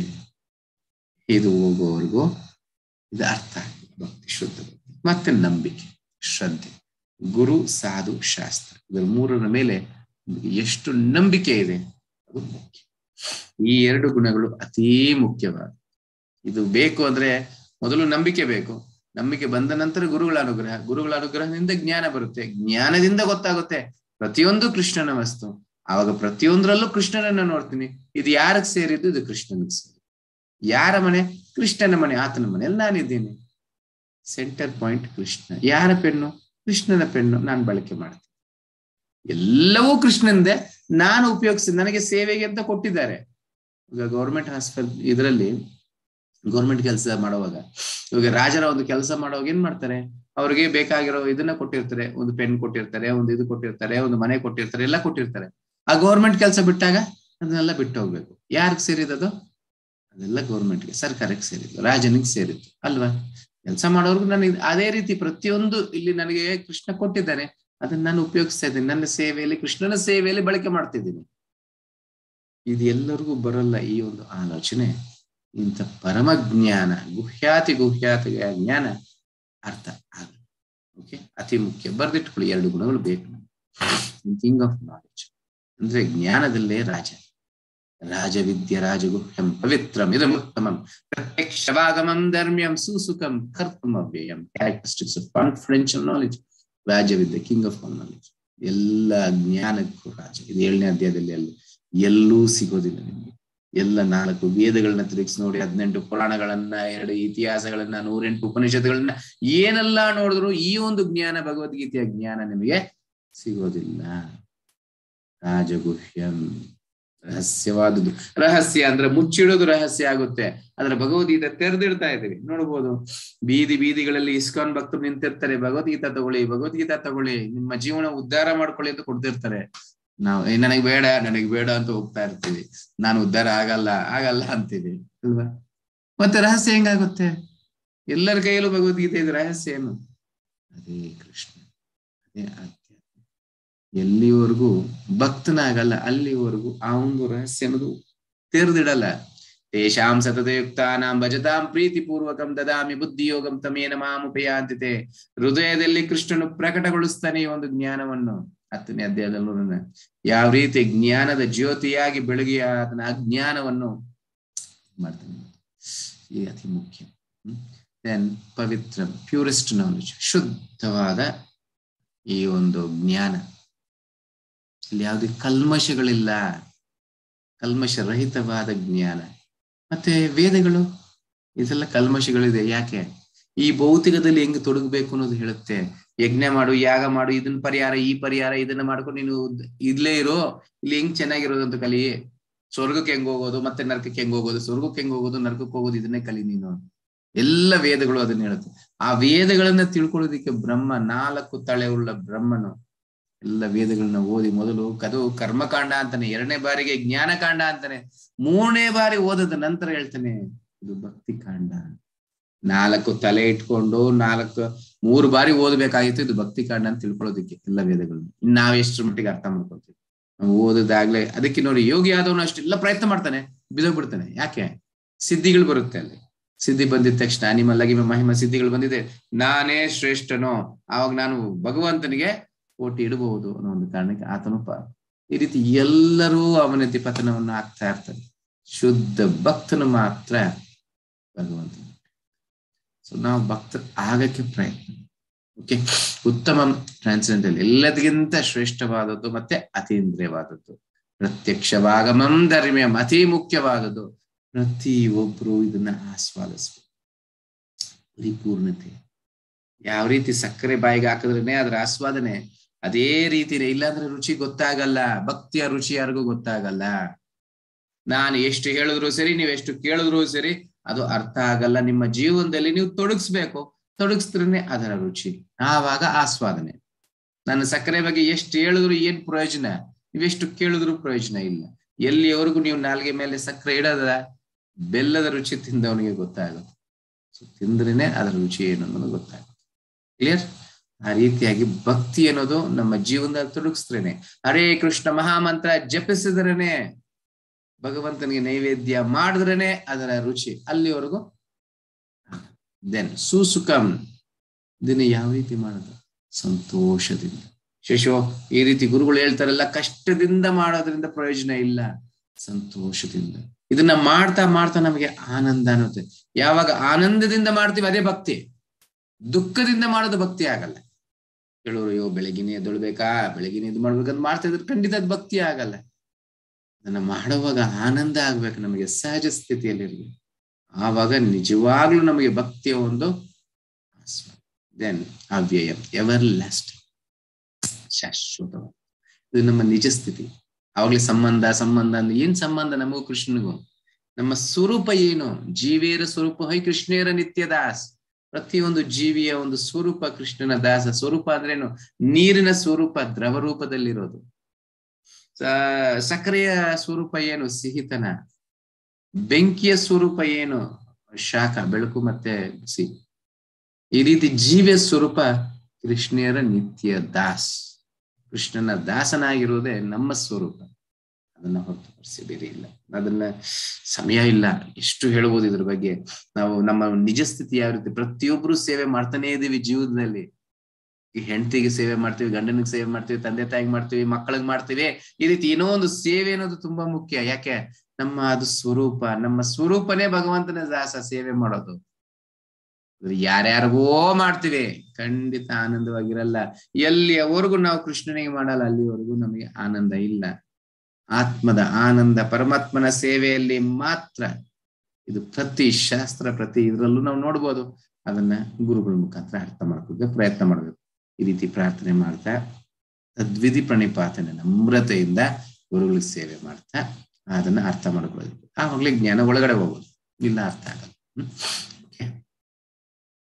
ನಾನ್ ವರ್ಷಿಪ್ ಅವಜಾನಾಂತಿ ಮಾ ಮೂಢ ಮಾನುಷ್ಯಂ ತನ ಮಾಶಿತಂ ಪರಂ ಭಾವಂ ಅಜಾನಂತೋ ಮಮಾ ಭೂತ್ವ ಮಹೇಶ್ವರಂ ಕೂಲ್ಸ್ತಿರ ಇಷ್ಟೆಲ್ಲ ತಿಳ್ಕೊಂಡ್ರು ಕೃಷ್ಣನಿಗೆ ನಾವು ಶರಣಾಗತಿ ಆಗಲ್ಲ. ನಮ್ಮಲ್ಲಿ ಎಷ್ಟು ಜನ ಇದ್ದೀವಿ ಇಲ್ಲ. ಕೃಷ್ಣನು ಎಲ್ಲ ದೇವತೆಗಳು, ಮೂವತ್ತು ಮೂರು ಕೋಟಿ ದೇವತೆಗಳು, ಕೃಷ್ಣನು ಒಬ್ಬನು. ಇಂತ ಒಂದು ಜ್ಞಾನ ಇಟ್ಕೊಂಡಿರ್ತೀವಿ. ಇಲ್ಲ, ನಿರಾಕಾರ. ಭಗವಂತನಿಗೆ ರೂಪ ಇಲ್ಲ, ಬೆಳಕು. ನಮ್ಮ ಮಿತಿಯಾದ ಜ್ಞಾನದಿಂದ ನಾನು ಕೃಷ್ಣನ ಅರ್ಥ ಮಾಡ್ಕೊಂತೀನಿ, ಭಗವಂತನ ಅರ್ಥ ಮಾಡ್ಕೊಂತೀನಿ. ಶರಣಾಗತಿ ಆಗಲ್ಲ, ಗುರುಗಳಿಗೆ ಶರಣಾಗತಿ ಆಗಲ್ಲ. ಶಾಸ್ತ್ರದ ಮಾತು ನಾನು ಕೇಳೋದಿಲ್ಲ. ನನ್ನದೇ ಆದ ಅರ್ಥವನ್ನು ನಾನು ತಗೊಂತೀನಿ. ಮೂರ್ಖರಲ್ಲಿ ಶತಮೂರ್ಖನು ಆತ. ಖಂಡಿತ ಆತ ಭಕ್ತನೂ ಆಗಲ್ಲ, ಪರಿಪೂರ್ತನು, ಪೂರ್ತಿನೂ ಆತನಿಗೆ ಜೀವನದಲ್ಲಿ ಸಿಗುದು ನಾನು ಮನುಷ್ಯ ರೂಪದಲ್ಲಿ ಇಳಿದು ಬಂದಾಗ ಮೂಡರು ನನ್ನನ್ನು ಅಪಹಾಸ್ಯ ಮಾಡುತ್ತಾರೆ. ಭಗವಂತನು ಮನುಷ್ಯನಾಗಿ ಬರೋಣ. ಓಕೆ, ಶ್ರೇಷ್ಠ ವ್ಯಕ್ತಿ ಅಂತ ಹೇಳೋಣ ಅದನ್ನ ಒಳ್ಳೆ ರಾಜ ಅಂತ ಹೇಳೋಣ ಅಷ್ಟೇ. ಅಷ್ಟನ್ ಬಿಟ್ಟು ಭಗವಂತ ಅಂತ ಒಪ್ಕೊಳ್ಳೋದ, ನಾನು ಒಪ್ಕೊಳ್ಳಲ್ಲ. ಅದನ್ನೇ ಇಲ್ಲಿ ಕೃಷ್ಣ ಹೇಳ್ತಿರೋದು. ಮೂಡರು ನನ್ನನ್ನ ಸ್ವೀಕರಿಸಲ್ಲ ಮನುಷ್ಯ ರೂಪದಲ್ಲಿ ಹೆಂಗ್ ಬರ್ತಾನೆ? ಭಗವಂತ ಹೆಂಗ್ ನಂತರನೇ ಇರಕ್ ಸಾಧ್ಯ? ಯಾಕೆ ಇರಬಾರ್ದು? ಪ್ರಶ್ನಿಸ್ಕೊಳ್ಳಿ. ಯಾಕಿರಬಾರ್ದು ಓಕೆ. ಇರುವುದರೆಲ್ಲರ ಪ್ರಭು ನಾನೇ. ನನ್ನ ಈ ದಿವ್ಯ ಪ್ರಕೃತಿಯು ಅವರಿಗೆ ತಿಳಿಯದು. ಪ್ರತಿಯೊಂದು ರೂಪದಲ್ಲೂ ಭಗವಂತ ಬರ್ಬೋದು, ಯಾಕೆ ಬರಬಾರದು? ಆದ್ರೆ ಭಗವಂತನ ನಿಜ ರೂಪ ಅದು ನೋಡೋಣ, ಬಂದಾಗ ಹೇಳ್ತೀನಿ. ನಿಜ ರೂಪ ಈ ಒಂದು ಕೃಷ್ಣನ ರೂಪ. ರಿಜೆಕ್ಟಿಂಗ್ ಕೃಷ್ಣ, ಕೃಷ್ಣನು ತಿರಸ್ಕರಿಸುವುದು. ಮೋಗ ಶಾಮೋಗ ಕರ್ಮಾನೋ ಮೋಗ ಜ್ಞಾನ ವಿಚೇತ ಸಹ ರಾಕ್ಷಸೆಮ್ಮಾಸುರಿಂ ಶೈವ ಪ್ರಕೃತಿ ಮೋಹಿನಿಂ ಶ್ರಿತ ಹೀಗೆ ದಿಗ್ಭ್ರಮೆ ಯಾದವರನ್ನು ರಾಕ್ಷಸಿ ಮತ್ತು ನಾಸ್ತಿಕ ಅಭಿಪ್ರಾಯಗಳು ಆಕರ್ಷಿಸುತ್ತದೆ. ಯಾರು ಕೃಷ್ಣನನ್ನ ಸ್ವೀಕರಿಸಲ್ಲ ಅವ್ರಿಗೇನು ಆಕರ್ಷಣೀಯವಾಗಿರುತ್ತೆ ಆಸರಿ ಗುಣಗಳು, ನಾಸ್ತಿಕವಾದ ಆಕರ್ಷಣೀಯವಾಗಿರುತ್ತೆ. ಆ ಕಡೆನೆ ಹೋಗ್ತಾರೆ. ನಾನು ಕೃಷ್ಣನಾಗಬೇಕು ಅಂತ ಕೆಲವರು ಹೋಗ್ತಾರೆ. ದೇವರೇ ಇಲ್ಲ ಅಂತ ಒಬ್ರಿಗೆ ಹೋಗ್ತಾರೆ. ಈ ರೀತಿಯಾಗಿ ಅದೇ ಅವರಿಗೆ ಆಕರ್ಷಣೀಯವಾಗಿರುತ್ತೆ, ಆ ಕಡೆನೇ ಹೋಗ್ತಾರೆ. ಈ ಭ್ರಾಂತಿಯ ಸ್ಥಿತಿಯಲ್ಲಿ ಅವರ ಮುಕ್ತಿಯ ಭರವಸೆಗಳು, ಅವರ ಫಲಾಪೇಕ್ಷಿತ ಕರ್ಮಗಳು ಮತ್ತು ಅವರ ಜ್ಞಾನ ಸಂಸ್ಕಾರ ಎಲ್ಲ ಸೋತು ಹೋಗುತ್ತದೆ ಕೃಷ್ಣ ಸ್ವೀಕಾರ ಮಾಡಿದ್ರೆ ನೀನು ಮಾಡ್ತೀನಿ ಅಂತ ಹೋದಾಗ ಅದು ಏನಕ್ಕೆ ಮಾಡ್ತಿದ್ರೆ ಮುಕ್ತಿಗೆ ಮಾಡ್ತಿದ್ರೆ ಆದ್ರೂ ಪತನ ಯೋಗಿ ಆದವರು ಮುಕ್ತಿಗೋಸ್ಕರ ಅದೆಲ್ಲ ಮಾಡೋದು ಜ್ಞಾನಿ ಆದವನು ಮುಕ್ತಿಗೋಸ್ಕರನೇ ಮಾಡೋದು. ಆದ್ರೆ ಅವರ ಪತನ ಆಗುತ್ತೆ ಎಲ್ಲಿವರೆಗೂ ಕೃಷ್ಣನ ನಿಜ ಸ್ವರೂಪದಲ್ಲಿ ನಾವು ಸ್ವೀಕರಿಸ್ಕೊಳ್ಳಲ್ಲ, ನಿಜ ಸಂಬಂಧವನ್ನು ನಾವು ಬೆಳೆಸ್ಕೊಳ್ಳಲ್ಲ, ಅಲ್ಲಿವರೆಗೂ ಮುಕ್ತಿ ನಾವು ಎಷ್ಟೇ ಪ್ರಯತ್ನ ಮಾಡಿದ್ರು ಸರಿ, ಎಷ್ಟೇ ಯುಗಗಳು ನಾನು ತಪಸ್ ಮಾಡಿದ್ರು ಸರಿ, ಎಷ್ಟೇ ಕೃಷ್ಣನ ಆರಾಧಿಸ್ರಿ ಎಷ್ಟು ಪೂಜೆ ಮಾಡಿದ್ರು ಸರಿ, ಖಂಡಿತ ಸಿಗುವುದಿಲ್ಲ. ಮುಕ್ತಿ ಅನ್ನೋದು ಇಲ್ಲ. ನಮ್ಮ ಸ್ವರೂಪಕ್ಕೆ ಬರ್ದೆ ನಂತರ ಹೂ ಇಸ್ ಮಹಾತ್ಮ ಮಹಾತ್ಮನು ಯಾರು? ಮಹಾತ್ಮಾನಸ್ತು ಸುಮಾಂ ಪಾರ್ಥ ದೈವಿಂ ಪ್ರಕೃತಿ ಆಶ್ರಿತ ಭಜಂತಿ ಅನನ್ಯ ಮನಸ್ಸೋ ಜ್ಞಾತ್ವಾ ಭೂತಾದಿಂ ಅವ್ಯಯಂ. ಮಹಾತ್ಮ ಮಹಾತ್ಮಾನಸ್ತು ಮಾಂ ಪಾರ್ಥ. ದೈವಿಂ ಪ್ರಕೃತಿ ಆಶ್ರಿತ. ಆತ ನನ್ನ ಒಂದು ದೃಷ್ಟಿಯಲ್ಲಿರ್ತಾನೆ, ದಿವ್ಯ ನೆಲೆಯಲ್ಲಿರ್ತಾನೆ, ಈ ಭೂಲೋಕದಲ್ಲಿ ಇಲ್ಲೇ ಇರ್ತಾನೆ. ನನ್ನ ಭಕ್ತನಾದವನು ಮಹಾತ್ಮನಾಗಿರ್ತಾನೆ, ದಿವ್ಯ ನೆಲೆಯಲ್ಲಿರ್ತಾನೆ. ಆತನು ಸದಾ ನನ್ನ, ನನ್ನಿಂದ ರಕ್ಷಿತ, ರಕ್ಷಿಸಲ್ಪಟ್ಟಿರ್ತಾನೆ. ನಮಗೆಲ್ಲ ರಕ್ಷಣೆ ಇಲ್ಲ. ಭಕ್ತನಿಗೆ ಮಾತ್ರ ರಕ್ಷಣೆ. ಶಿಶು ಕೃಷ್ಣನು ಪಕ್ಷಪಾತ ತೋರಿಸ್ತಿದ್ದಾನಲ್ಲ ಭೇದ ಭಾವ ತೋರಿಸ್ತಿದ್ದಾನಲ್ಲ. ಬರುತ್ತೆ. ಅದು ಹೇಳ್ತಾನೆ ಮುಂದೆ ಬಂದಾಗ. ಪ್ರಾರ್ಥನೆ. ಭ್ರಾಂತಿಗೆ ಸಿಲುಕದ ಮಹಾತ್ಮರು ದೈವಿ ಪ್ರಕೃತಿಯ ರಕ್ಷಣೆಯಲ್ಲಿ ಭಕ್ತನಾದವನು ಸದಾ ಭಗವಂತನ ರಕ್ಷಣೆಯಲ್ಲಿ ಮಾಯಾದೇವಿಯ ಪ್ರಭಾವ ಏನಿದೆ? ಮಾಯಾದೇವಿ ಒಬ್ಬಳೆ. ಆಧ್ಯಾತ್ಮಿಕ ಲೋಕದಲ್ಲೂ, ಭೌತಿಕ ಲೋಕದಲ್ಲೋ. ಅಲ್ಲಿ ಇಲ್ಲಿ ಮಹಾಮಾಯೆಯಾಗಿರ್ತಾಳೆ, ಅಲ್ಲಿ ಯೋಗ ಮಾಯವಾಗಿ ಇರ್ತಾಳೆ ಅಷ್ಟೇ. ಅಲ್ಲಿ ಕೃಷ್ಣನಿಗೆ ಯಾವ ರೀತಿ ಹತ್ರ ಮಾಡಿಸೋದು ಅಂತ ಪ್ರಯತ್ನ ಮಾಡ್ತಾರೆ, ಇಲ್ಲಿ ಕೃಷ್ಣನಿಂದ ಯಾವ ರೀತಿ ದೂರ ಮಾಡಿಸೋದು ಅಂತ ಪ್ರಯತ್ನ ಮಾಡ್ತಾರೆ. ಅದು ತಪ್ಪಲ್ಲ. ನಮ್ಮನ್ನ, ನಾವಾಗ, ನಾವೇನ್ ಕಾರಣನೇ ಅಲ್ಲ. ಆಕೆನೆ ನಮ್ಮನ್ನ ದೂರ ಮಾಡಿಸ್ತಾ ನಾವು ಮೊದಲು ತಪ್ಪು ಮಾಡಿ ಇಲ್ಲಿ ಬಂದಿದ್ದೀವಿ. ಆಯ್ತು, ದೂರ ಇರ್ಬೇಕು ಅಂತ ತಾನೇ ಬಂದಿದ್ದು. ಆಯ್ತು ನಾ ಅಂತ ಅವಕಾಶಗಳನ್ನು ಕೊಡ್ತಾ ಇರ್ತಾರೆ ಇನ್ನು ದೂರ ಮಾಡ್ತಾ ಇರ್ತಾರೆ. ಅದರಿಂದ ನೀನ್ ಎಷ್ಟು ಕಷ್ಟಗಳನ್ನ ಅನುಭವಿಸ್ತೀಯ? ಎಷ್ಟು ದುಃಖದಲ್ಲಿ ಕುಳಿತೀಯ? ಎಷ್ಟು ಕ್ಲೇಶಗಳಿದೆ ಅನ್ನೋದು ತೋರಿಸೋದಕ್ಕೆ ದೂರ ಮಾಡ್ದಷ್ಟು ನಿನಗೆ ನೋವು ಜಾಸ್ತಿ, ದುಃಖ ಜಾಸ್ತಿ, ಅಗಲಿಕೆ ಅನ್ನೋದು ಜಾಸ್ತಿ ಅದನ್ನ ರಿಯಲೈಸ್ ಮಾಡ್ಕೊಂಡು, ಅದನ್ನ ಸಾಕ್ಷಾತ್ಕಾರ ಮಾಡ್ಕೊಂಡು, ಹತ್ರ ಹೋಗಕ್ಕೆ ಪ್ರಯತ್ನ ಮಾಡ್ತೀವಲ್ಲ? ನಾವೆಲ್ಲ ಇವಾಗ ಅದನ್ನೇ ಮಾಡ್ತಾರೆ ಹತ್ರ ಹೋಗಿ ಪ್ರಯತ್ನ ಮಾಡಿದ ಅದು ಸಾಧಕನಾಗಿರ್ತೀವಿ. ಒಂದು ನೆಲೆಗೆ ಬಂದ ನಂತರ ಯೋಗಮಾಯ ಪ್ರಭಾವದಿಂದ ಇನ್ನು ಹತ್ರ ಆಗೋದಕ್ಕೆ ನಮಗೆ ಆ ಒಂದು ಗುಣಲಕ್ಷಣಗಳು ಬರುತ್ತೆ. ಆ ಒಂದು ಜ್ಞಾನ ಅವರಿಗೆ ನಾನು ಮೂಲನು, ಅವ್ಯಯನು ಆದ ದೇವೋತ್ತಮ ಪರಮ ಪುರುಷನು ಎಂದು ಗೊತ್ತು. ಭಗವದ್ಗೀತೆ ಜ್ಞಾನ ಯಾರೆಲ್ಲ ಸ್ವೀಕಾರ ಮಾಡ್ತಾರೆ? ಅವ್ರು ಗೊತ್ತಾಗುತ್ತೆ ಕೃಷ್ಣನೇ ಶ್ರೇಷ್ಠನು, ಅಖಿಲಾಂಡ ಕೋಟಿ ಬ್ರಹ್ಮಾಂಡ ನಾಯಕನು, ದೇವೋತ್ತಮನು ಯಾರು ಕೃಷ್ಣನೇ? ಇದನ್ನ ತಿಳಿದವನು ಏನ್ ಮಾಡ್ತಾನೆ? ಕೃಷ್ಣ ಆರಾಧಿಸಿಗೆ ಸ್ವೀಕರಿಸ್ತಾನೆ. ಕ್ಲಿಯರ್ ಆದುದರಿಂದ ಅವರು ಭಕ್ತಿ ಸೇವೆಯಲ್ಲಿ ಸಂಪೂರ್ಣವಾಗಿ ನಿರತರಾಗಿರುತ್ತಾರೆ. ಇದನ್ನ ಗೊತ್ತಿರೋರು ಏನ್ ಮಾಡ್ತಾನೆ? ಸದಾ ಕೃಷ್ಣನ ಸೇವೆಯಲ್ಲಿ ಇರುತ್ತಾನೆ. ತೊಡಗ್ತಾ ತೊಡಗ್ತಾ ತೊಡಗ್ತಾ ಕೊನೆಗೆ ಸರ್ವಧರ್ಮಾನ್ ಪರಿತ್ಯಜ್ಯ ಮಾಮೇಕಂ ಶರಣಂ ರಜ ಅಹಂ ತ್ವಂ ಸರ್ವ ಪಾಪೇಭ್ಯ ಸರ್ವ ಸರ್ವಧರ್ಮ ಎಲ್ಲವನ್ನು ಬಿಟ್ಟು ಕೃಷ್ಣನಿಗೆ ಸಂಪೂರ್ಣವಾಗಿ ಶರಣಾಗತಿ ಆಗ್ತಾನೆ how to recognise a mahatma ಮಹಾತ್ಮನು ಅಂತ ಹೆಂಗ್ ಕಂಡಿಡಿಯೋದು ಸತತಂ ಕೀರ್ತಯಂತೋ ಮಾಂ ಯದಂತಶ್ಚ ದೃಢವ್ರತ ನಮಸ್ಯಂತಶ್ಚ ಮಾಂ ಭಕ್ತಿಯ ನಿತ್ಯಯುಕ್ತ ಉಪಾಸತೆ. ಭಕ್ತನು ಅಂದ್ರೆ ಹೆಂಗಿರ್ಬೇಕು? ಅರ್ಥ ಆಗ್ತಿದೆ ಸದಾ ನನ್ನ ಕೀರ್ತನೆಯನ್ನು ಮಾಡುತ್ತಾ. ಕೀರ್ತನೆ ಬೆಳಿಗ್ಗೆನೆ ಮಾಡಿದ್ವಲ್ಲ? ಎಷ್ಟು ಮಾತ್ರ ಮನೆಯಲ್ಲಿ ಇಬ್ರು ಇದ್ರೆ ಸಾಕು. ಒಬ್ರು ಮಾಡಿದ್ರೆ ಜಪ, ಇಬ್ರು ಮಾಡಿದ್ರೆ ಕೀರ್ತನೆ ಅಷ್ಟೇ. ಚಪ್ಪಾಳೆ ತಟ್ಕೊಂಡು ಇಬ್ರು ಭಗವಂತನ ಮುಂದೆ ಕುಂತ್ಕೊಂಡು ಕೀರ್ತನೆ ಮಾಡ್ತದ ಅಂತ ಕುಟುಂಬ ಹೆಂಗಿರುತ್ತೆ ಗೊತ್ತಾ? ಆನಂದಮಯವಾದ ಒಂದು ಕುಟುಂಬವಾಗಿರುತ್ತೆ. ಅದರಲ್ಲೂ ಇವಾಗ ಹೇಳ್ತೀನಿ, ಪ್ರಸಾದದ ಬಗ್ಗೆ ಹೇಳ್ತೀನಿ. ಪ್ರಸಾದ ತಗೊಂಡ ಕುಟುಂಬ ಎಲ್ಲ ಒಂದಾಗಿದ್ರೆ ಆ ಕಾಲದಲ್ಲಿ ಎಲ್ಲರೂ ಹಂಗೆ ಇದ್ರು. ಆನಂದದಲ್ಲಿ ತೇಲಾಡ್ತಾ ಇದ್ರು. ಬಡತನದಲ್ಲಿ ಏನು ಇಲ್ಲ ಅಂದ್ರು ಆನಂದ. ಇವಾಗ ಏನ್ ಎದ್ರು ದುಃಖ. ಕೃಷ್ಣನಿಂದ ದೂರ ಹೋಗ್ತಾ ಭೌತಿಕ ಜ್ಞಾನ, ಭೌತಿಕದ ವಿಚಾರಗಳು ನಮ್ಮನ್ನ ಕೃಷ್ಣನಿಂದ ದೂರ ಮಾಡುತ್ತೆ. ಯಾವಾಗ ಆಧ್ಯಾತ್ಮಿಕ ಜ್ಞಾನ ಬೆಳೆಸ್ಕೊಂತೀವಿ ಕೃಷ್ಣನಿಗೆ ಹತ್ರ ಮಾಡುತ್ತೆ, ಆವಾಗ ಆನಂದ ನನಗೆ ನಮಸ್ಕಾರಗಳನ್ನು ಮಾಡುತ್ತಾ ಈ ಮಹಾತ್ಮರು ಸತತವಾಗಿ ಭಕ್ತಿಯಿಂದ ನನ್ನನ್ನು ಪೂಜಿಸುತ್ತಾರೆ. ಅಲ್ಲಿ ನೋಡ್ಬೋದು? ಅವ್ರ ಚಿಂತೆನೆ ಎಲ್ಲ ಬೀದಿ ಬೀದಿಗಳಲ್ಲಿ ಕೃಷ್ಣನ ಸಂಕೀರ್ತನೆ ಮಾಡ್ತಾ, ಆನಂದದಲ್ಲಿ ನೃತ್ಯ ಮಾಡ್ತಾ, ತೇಲಾಡ್ತಾ ಇದ್ದಾರೆ. ನಿಜವಾದ ಭಕ್ತನು ಇಡೀ ಪ್ರಪಂಚದಲ್ಲಿ ಯಾವುದೇ ಮೂಲೆಯಲ್ಲಿರ್ಲಿ, ಯಾವುದೇ ದೇಶದಲ್ಲಿರ್ಲಿ ಆತ ಎಂತ ಜನಾಂಗಕ್ಕೆ ಸೇರ್ಲಿ, ಎಂತ ಜಾತಿಗೆ ಸೇರ್ಲಿ, ಬೆಳ್ಳಗಿರ್ಲಿ ಕರಗಿರ್ಲಿ ಹೆಂಗೆ ಇರ್ಲಿ, ಆತನಿಗೆ ಒಂದೇ ಸಿಗೋದು ಆನಂದ. ಈ ರೀತಿಯಲ್ಲಿ ಅಲ್ಲಿ ನೋಡ್ಬೋದು. ಯಾರ್ಯಾರು ಎಷ್ಟೆಷ್ಟು ಸ್ವೀಕರಿಸ್ತಾರೆ, ಅಷ್ಟಷ್ಟು ಆನಂದವನ್ನು ಆಸ್ವಾದಿಸ್ತಾರೆ. ಏ ಯಥಾ ಮಾಂ ಪ್ರಪದ್ಯಸ್ತಿ ತಾಂಸ್ತತ ಭಜಾಮ್ಯಂ. ಯಾರ್ಯಾರು ಎಷ್ಟೆಷ್ಟು ಶರಣಾಗತಿ ಆಗ್ತಾರೆ, ಅಷ್ಟಷ್ಟು ಆನಂದ ಸಿಗ್ತಾ ಇರುತ್ತೆ. ನಾವು ಶರಣಾಗತಿ ಆಗಿಲ್ಲ ದುಃಖದಲ್ಲಿ ಇರ್ತೀವಿ ನೋಡಿ ಕೃಷ್ಣ ಅಷ್ಟೇ ಅಷ್ಟರಲ್ಲೇ ಇರಬೇಕು. ಹೆಚ್ಚೆಚ್ಚಿಗೆ ಹೆಚ್ಚೆಚ್ಚಿಗೆ ಶರಣಾಗತಿ ಆಗ್ತಾ ಇರುವಾಗ ಇಡೀ ಪ್ರಪಂಚ ಕೃಷ್ಣಮಯವಾಗ್ತಾ ಇರುತ್ತೆ. ಬರೀ ಆನಂದನೇ ಆನಂದ. ಅಲ್ಲಿ ಯಾರು ನೋಡಲ್ಲ, ಪಕ್ಕದಲ್ಲಿ ಯಾವ ನೋಡ್ತದೆ ಇದೇನ್ ನೋಡ್ತದೆ ನನಗೊಬ್ಬನೇ ಸಂಬಂಧ ಆತ ಕೃಷ್ಣ ಅಷ್ಟೇ. ಆಕ್ಟಿವಿಟೀಸ್ ಆಫ್ ಎ ಮಹಾತ್ಮ ಕೀರ್ತಿ ಅಂತ ಆಲ್ವೇಸ್ ಚಾಂಟಿಂಗ್ ಸದಾ ಭಗವಂತನ ನಾಮಸ್ಮರಣೆಯಲ್ಲಿರೋದು ದೃಢವ್ರತಃ, ಇದು ಅತಿ ಮುಖ್ಯವಾದದ್ದು ವಿತ್ ಫಿಕ್ಸ್ಡ್ ವಾವ್ ಇವತ್ ಮಾಡ್ತೀನಿ, ನಾಳೆ ಇಲ್ಲ.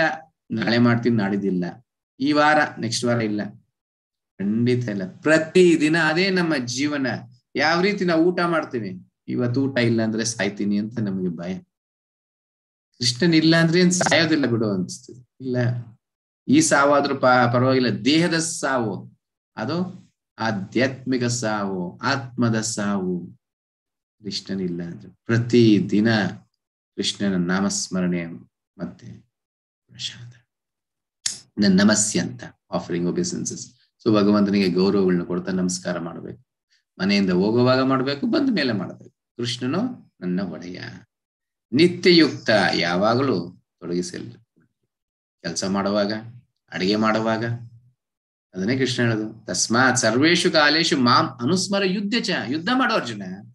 ನನ್ನನ್ನ ಸ್ಮರಣೆ ಮಾಡ್ತಾ ಮಾಡು. ಅಡಿಗೆ ಮಾಡಿ. ನನ್ನನ್ನ ಸ್ಮರಣೆ ಮಾಡ್ತಾ ಮಾಡಿ. ಕೆಲಸ ಮಾಡಿ. ನನ್ನನ್ನ ಸ್ಮರಣೆ ಮಾಡ್ತಾ. ವ್ಯಾಪಾರ ಮಾಡಿ, ನನ್ನನ್ನು ಸ್ಮರಣೆ ಮಾಡ್ತಾ ಮಾಡಿ. ಮನೆ ಹೊರಸು, ಅದನ್ನೇ ಪುರಂದರದಾಸ್ ಹೇಳೋದು. ಏನು? ಭಾರವನ್ನು ಎತ್ತುವಾಗ ಕೃಷ್ಣಾಯನ ಬಾರದೆ, ಮಗುವನ್ನು ಲಾಲಿಸುವಾಗ ಕೃಷ್ಣಾಯನ ಬಾರದೆ. ಎಷ್ಟೆಷ್ಟು ವಿಧದಲ್ಲಿ ಹೇಳ್ತಾರೆ. ದಾರಿಯಲ್ಲಿ ನಡೆಯುವಾಗ ಕೃಷ್ಣಾಯನ ನಾಲಿಗೆ ಇರುವಾಗ ಕೃಷ್ಣಾಯನ ಬಾರದೆ. ಏನೆಲ್ಲಾ ಮಾಡ್ತಿದ್ರ ಮಾಡ್ತಾ ಇರಿ, ಕೃಷ್ಣಾಯನ ಬಾರದೆ. ಸಾಕು. ಇದೆ.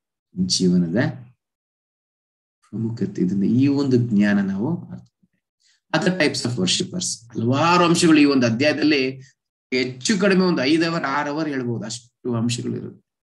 ಸೊ ಯಾವ್ದು ಬಿಡಬೇಕು ಅನ್ನೋದು ಗೊತ್ತಿಲ್ಲ. ಅದರ್ ಟೈಪ್ಸ್ ಆಫ್ ವರ್ಷಿಪರ್ಸ್ ಯಾರನ್ನು ಬೇರೆ ರೀತಿಯ ಒಂದು ಭಗವಂತನ ಆರಾಧಿಸೋರು ಯಾರ್ಯಾರು? ಏಕತ್ವೇನ, ಇನ್ ಒನ್ನಸ್. ಭಗವಂತನು ಒಂದೇ. ಯಾವ ರೂಪದಲ್ಲಿದ್ರು ಒಂದೇ. ಹಿಂಗಿದ್ರು ಒಂದೇ ಹಂಗಿದ್ರು ಒಂದೇ ಅಂತ ಹೇಳೋರು. ಏಕತ್ವೇನ? ಎಲ್ಲ ಒಂದೇ ಇಲ್ಲ ಅಂದ್ರೆ? ಈ ರೀತಿಯಾಗಿ ಕೃಷ್ಣನ್ನೇ ಅವರು ಸ್ವೀಕಾರ ಮಾಡೋದು ನಂತರ. ಪೃಥಕ್ವೇನ ಡೈವರ್ಸ್ ಆಸ್ ಮನಿ. ಇಲ್ಲ, ಯಾರು ಹೇಳಿದ್ರೆ ನಿಮ್ಗೆ? ಮೂವತ್ತು ಮೂರು ಕೋಟಿ ದೇವತೆಗಳಿದ್ರೆ ಒಬ್ಬರೇ ಅಂತ ದೇವತೆಗಳು ಹಲವಾರು ಜನರು. ಕರೆಕ್ಟ ನಾನು ಯಾಳು ಹೇಳೋದು ಯಾವ್ದಾದ್ರು ಸುಳ್ಳಿದೆಯಾ ನೋಡಿ. ಎಂತೆಂತ ಜನರನ್ನ ನಾವು ನೋಡ್ತೀವಿ, ಎಲ್ಲರೂ ಅದರ ಅವ್ರವ್ರದೇ ತತ್ವದಲ್ಲಿ ಹೇಳ್ತಾರೆ. ಭಗವಂತನು ಎಲ್ಲಾ ವಿಧ ವಿಧದಲ್ಲಿ ಇದ್ದಾನೆ ಎಲ್ಲರೂ ದೇವತೆ, ಎಲ್ಲರೂ ಒಂದೇ, ಎಲ್ಲರೂ ಇದೆ. ನಂತರ, ಬಹುತ್ವ ವಿಶ್ವತೋಮುಖ. ಈ ಒಂದು ಯೂನಿವರ್ಸಲ್ ಫಾರ್ಮ್ ಇಡೀ ವಿಶ್ವನೇ ಭಗವಂತ. ಪ್ರಕೃತಿಯೇ ಭಗವಂತ. ಇದೆಲ್ಲ ಸುಳ್ಳ? ಎಲ್ಲ ಕರೆಕ್ಟ್ ಯಾವುದು ಸುಳ್ಳಲ್ಲ. ಆದ್ರೆ ಒಬ್ಬೊಬ್ರು ಒಂದೊಂದು ಹಂತದಲ್ಲಿ ಇದ್ದಾರೆ. ಫಸ್ಟ್ ಸ್ಟ್ಯಾಂಡರ್ಡ್ ಓದೋದು ಜ್ಞಾನ ಅಲ್ವಾ? ಜ್ಞಾನನೇ. ಟೆಂತ್ ಸ್ಟ್ಯಾಂಡರ್ಡ್ ಜ್ಞಾನ ಅಲ್ವಾ? ಜ್ಞಾನನೇ. ಡಿಗ್ರಿ ಜ್ಞಾನ ಅಲ್ವಾ? ಜ್ಞಾನ. ಎಲ್ಲ ಯಾವ್ದು ಇಲ್ಲ ಅನ್ನೋದು ಹಿಂಗಲ್ಲ ಆದ್ರೆ ಅವ್ರದೇ ಆದ ಒಂದು ನೆಲೆಯಲ್ಲಿ ಒಬ್ಬೊಬ್ರು ಒಂದೊಂದು ಹಂತದಲ್ಲಿ ಇರ್ತಾರೆ. ಎಲ್ಲದಕ್ಕಿಂತ ಶ್ರೇಷ್ಠವಾದದ್ದು ಭಕ್ತಿ. ಆದರೆ ಅದರ ಪರಿಣಾಮ ಏನು? ಒಬ್ಬೊಬ್ರು ಒಂದೊಂದು ನೆಲೆಯಲ್ಲಿ ಇರ್ತಾರೆ. ನೋಡಿ, ಯಾವುದು ಇಲ್ಲಿ ಪ್ರಾಕ್ಟಿಕಲ್ ತುಂಬಾ. ನಾನು ಎಸ್ ಎಲ್ ಸಿ ಪರೀಕ್ಷೆ ಬರೆದಾಗ ಯಾವ ಸರ್ಟಿಫಿಕೇಟ್ ಕೊಡ್ತೀನಿ? ಎಸ್ ಎಲ್ ಸಿ ಸರ್ಟಿಫಿಕೇಟ್ ನಮಗೆ ಕೊಡ್ತಾರೆ. ಕರೆಕ್ಟ್ ತಾನೆ ಇಲ್ಲ. ನನಗೆ ಡಿಗ್ರಿ ಸರ್ಟಿಫಿಕೇಟ್ ಬೇಕು ಅಂದ್ರೆ ಕೊಡ್ತಾರೆ. ಏ ಹುಚ್ಚ, ಮೂರ್ಖ, ಹೋಗು ಅಂತ. ಹೌದಾ ಅಲ್ವಾ? ಅಷ್ಟೇ. ನಾನು ಯಾರನ್ನ ಆರಾಧಿಸ್ತಾ ಇದ್ದೀನಿ, ಯಾವ ರೂಪದಲ್ಲಿ ಆರಾಧಿಸಿ ಯಾವ ರೀತಿ ನಾನು ಇದನ್ನ ಆರಾಧಿಸಿದೆ ನನ್ನ ಫಲಿತಾಂಶ ಹಂಗೆ ಬರುತ್ತೆ. ಇದ್ರ ತಪ್ಪೇನಿದೆ. ಯಾಂತಿ ದೇವಾವ್ರತ ದೇವಾನ್ ಪಿತೃನ್ ಯಾಂತಿ ಪಿತೃವ್ರತಃ ಭೂತಾನಿ ಯಾಂತಿ ಭೂತೇಜ್ಯ, ಯಾಂತಿ ಮಧ್ಯಾಜಿನೋಪಿ ಮಾಂ. ದೇವತೆಗಳನ್ನು ಪೂಜಿಸುವವರು ದೇವತೆಗಳ ಮಧ್ಯೆ ಹುಟ್ಟುತ್ತಾರೆ. ಪಿತೃಗಳನ್ನು ಪೂಜಿಸುವವರು ಪಿತೃಗಳ ಬಳಿಗೆ ಹೋಗುತ್ತಾರೆ. ಭೂತಗಳನ್ನು ಪೂಜಿಸುವವರು ಭೂತಗಳ ಮಧ್ಯೆ ಹುಟ್ಟುತ್ತಾರೆ. ನನ್ನನ್ನು ಪೂಜಿಸುವವರು ನನ್ನೊಡನೆ ಇರುತ್ತಾರೆ. ವೆರಿ ಸಿಂಪಲ್ ನೀವು ಯಾರ್ಯಾರನ್ನ ಆರಾಧಿಸ್ತಾ, ಆರಾಧಿಸಿ. ನಾ ಹದ್ನಾಲ್ಕನೇ ಅಧ್ಯಾಯ ಬಂದಾಗ ಹೇಳ್ತೀನಿ. ಭೂತಗಳನ್ನ ಯಾರು ಪೂಜೆ ಮಾಡ್ತಾರೆ? ದೇವತೆಗಳನ್ನ ಯಾರು ಪೂಜೆ ಮಾಡ್ತಾರೆ ಏನೇನೋ ಅಲ್ಲಿ ಬರುತ್ತೆ, ಅವಾಗ ತಿಳ್ಕೊಳ್ಳೋಣ ಸೊ ಯಾರು ನನ್ನನ್ನ ಆರಾಧಿಸ್ತಾರೆ ನನ್ನ ಮನೆ ಚಾಟ್ ನನ್ನ ಹಿಂದ್ಗಡೆ ಇದೆ ನೋಡಿ, ಇದು ಗೋಲೋಕ ನನ್ನ ಪರಮಧಾಮ, ಗೋಲೋಕ ವೃಂದಾವನಕ್ಕೆ ಬರ್ತಾರೆ.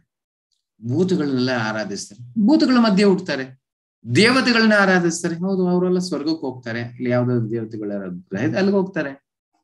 ಯಾರ್ಯಾರು ಯಾರ್ಯಾರನ್ನ ಆರಾಧಿಸ್ತಾರೆ, ಅದೇ ಅವರ ಒಂದು ಫಲಿತಾಂಶ. ಎಸ್ ಎಲ್ ಸಿ ಬರ್ದಿದ್ದೀನಿ, ಎಸ್ ಎಲ್ ಸಿ ಸರ್ಟಿಫಿಕೇಟ್ ಕೊಡ್ತಾರೆ. ಶುದ್ಧ ಭಕ್ತಿ ಸೇವೆಯಲ್ಲಿ ತೊಡಗಿದ್ದೀನಿ ಕೃಷ್ಣನನ್ನ ಆರಾಧಿಸ್ತಾ ಆತನಿಗೆ ನೈವೇದ್ಯವನ್ನು ಮಾಡ್ತಾ, ಜಪವನ್ನು ಮಾಡ್ತಾ ಶುದ್ಧ ಭಕ್ತನಾಗಿದ್ದೀನಿ. ಪರಮಧಾಮ, ಗೋಲೋಕ ವೃಂದಾವನಕ್ಕೆ ಹೋಗ್ತೀನಿ. ಅಷ್ಟೇ. ಡಿಫ್ರೆಂಟ್ ಆರ್ ಡಿಫ್ರೆಂಟ್ ಡೆಸ್ಟಿನೇಷನ್ ಇಲ್ಲಿ ನೋಡ್ಬೋದು. Criterion motive love and servitude material desires ಭಗವಂತ ಕೃಷ್ಣನಿಗೆ ಅಂದ್ರೆ ಬರೀ ಶುದ್ಧ ಪ್ರೇಮ ಇರುತ್ತೆ, ಸೇವೆ ಭಾವ ಇರುತ್ತೆ.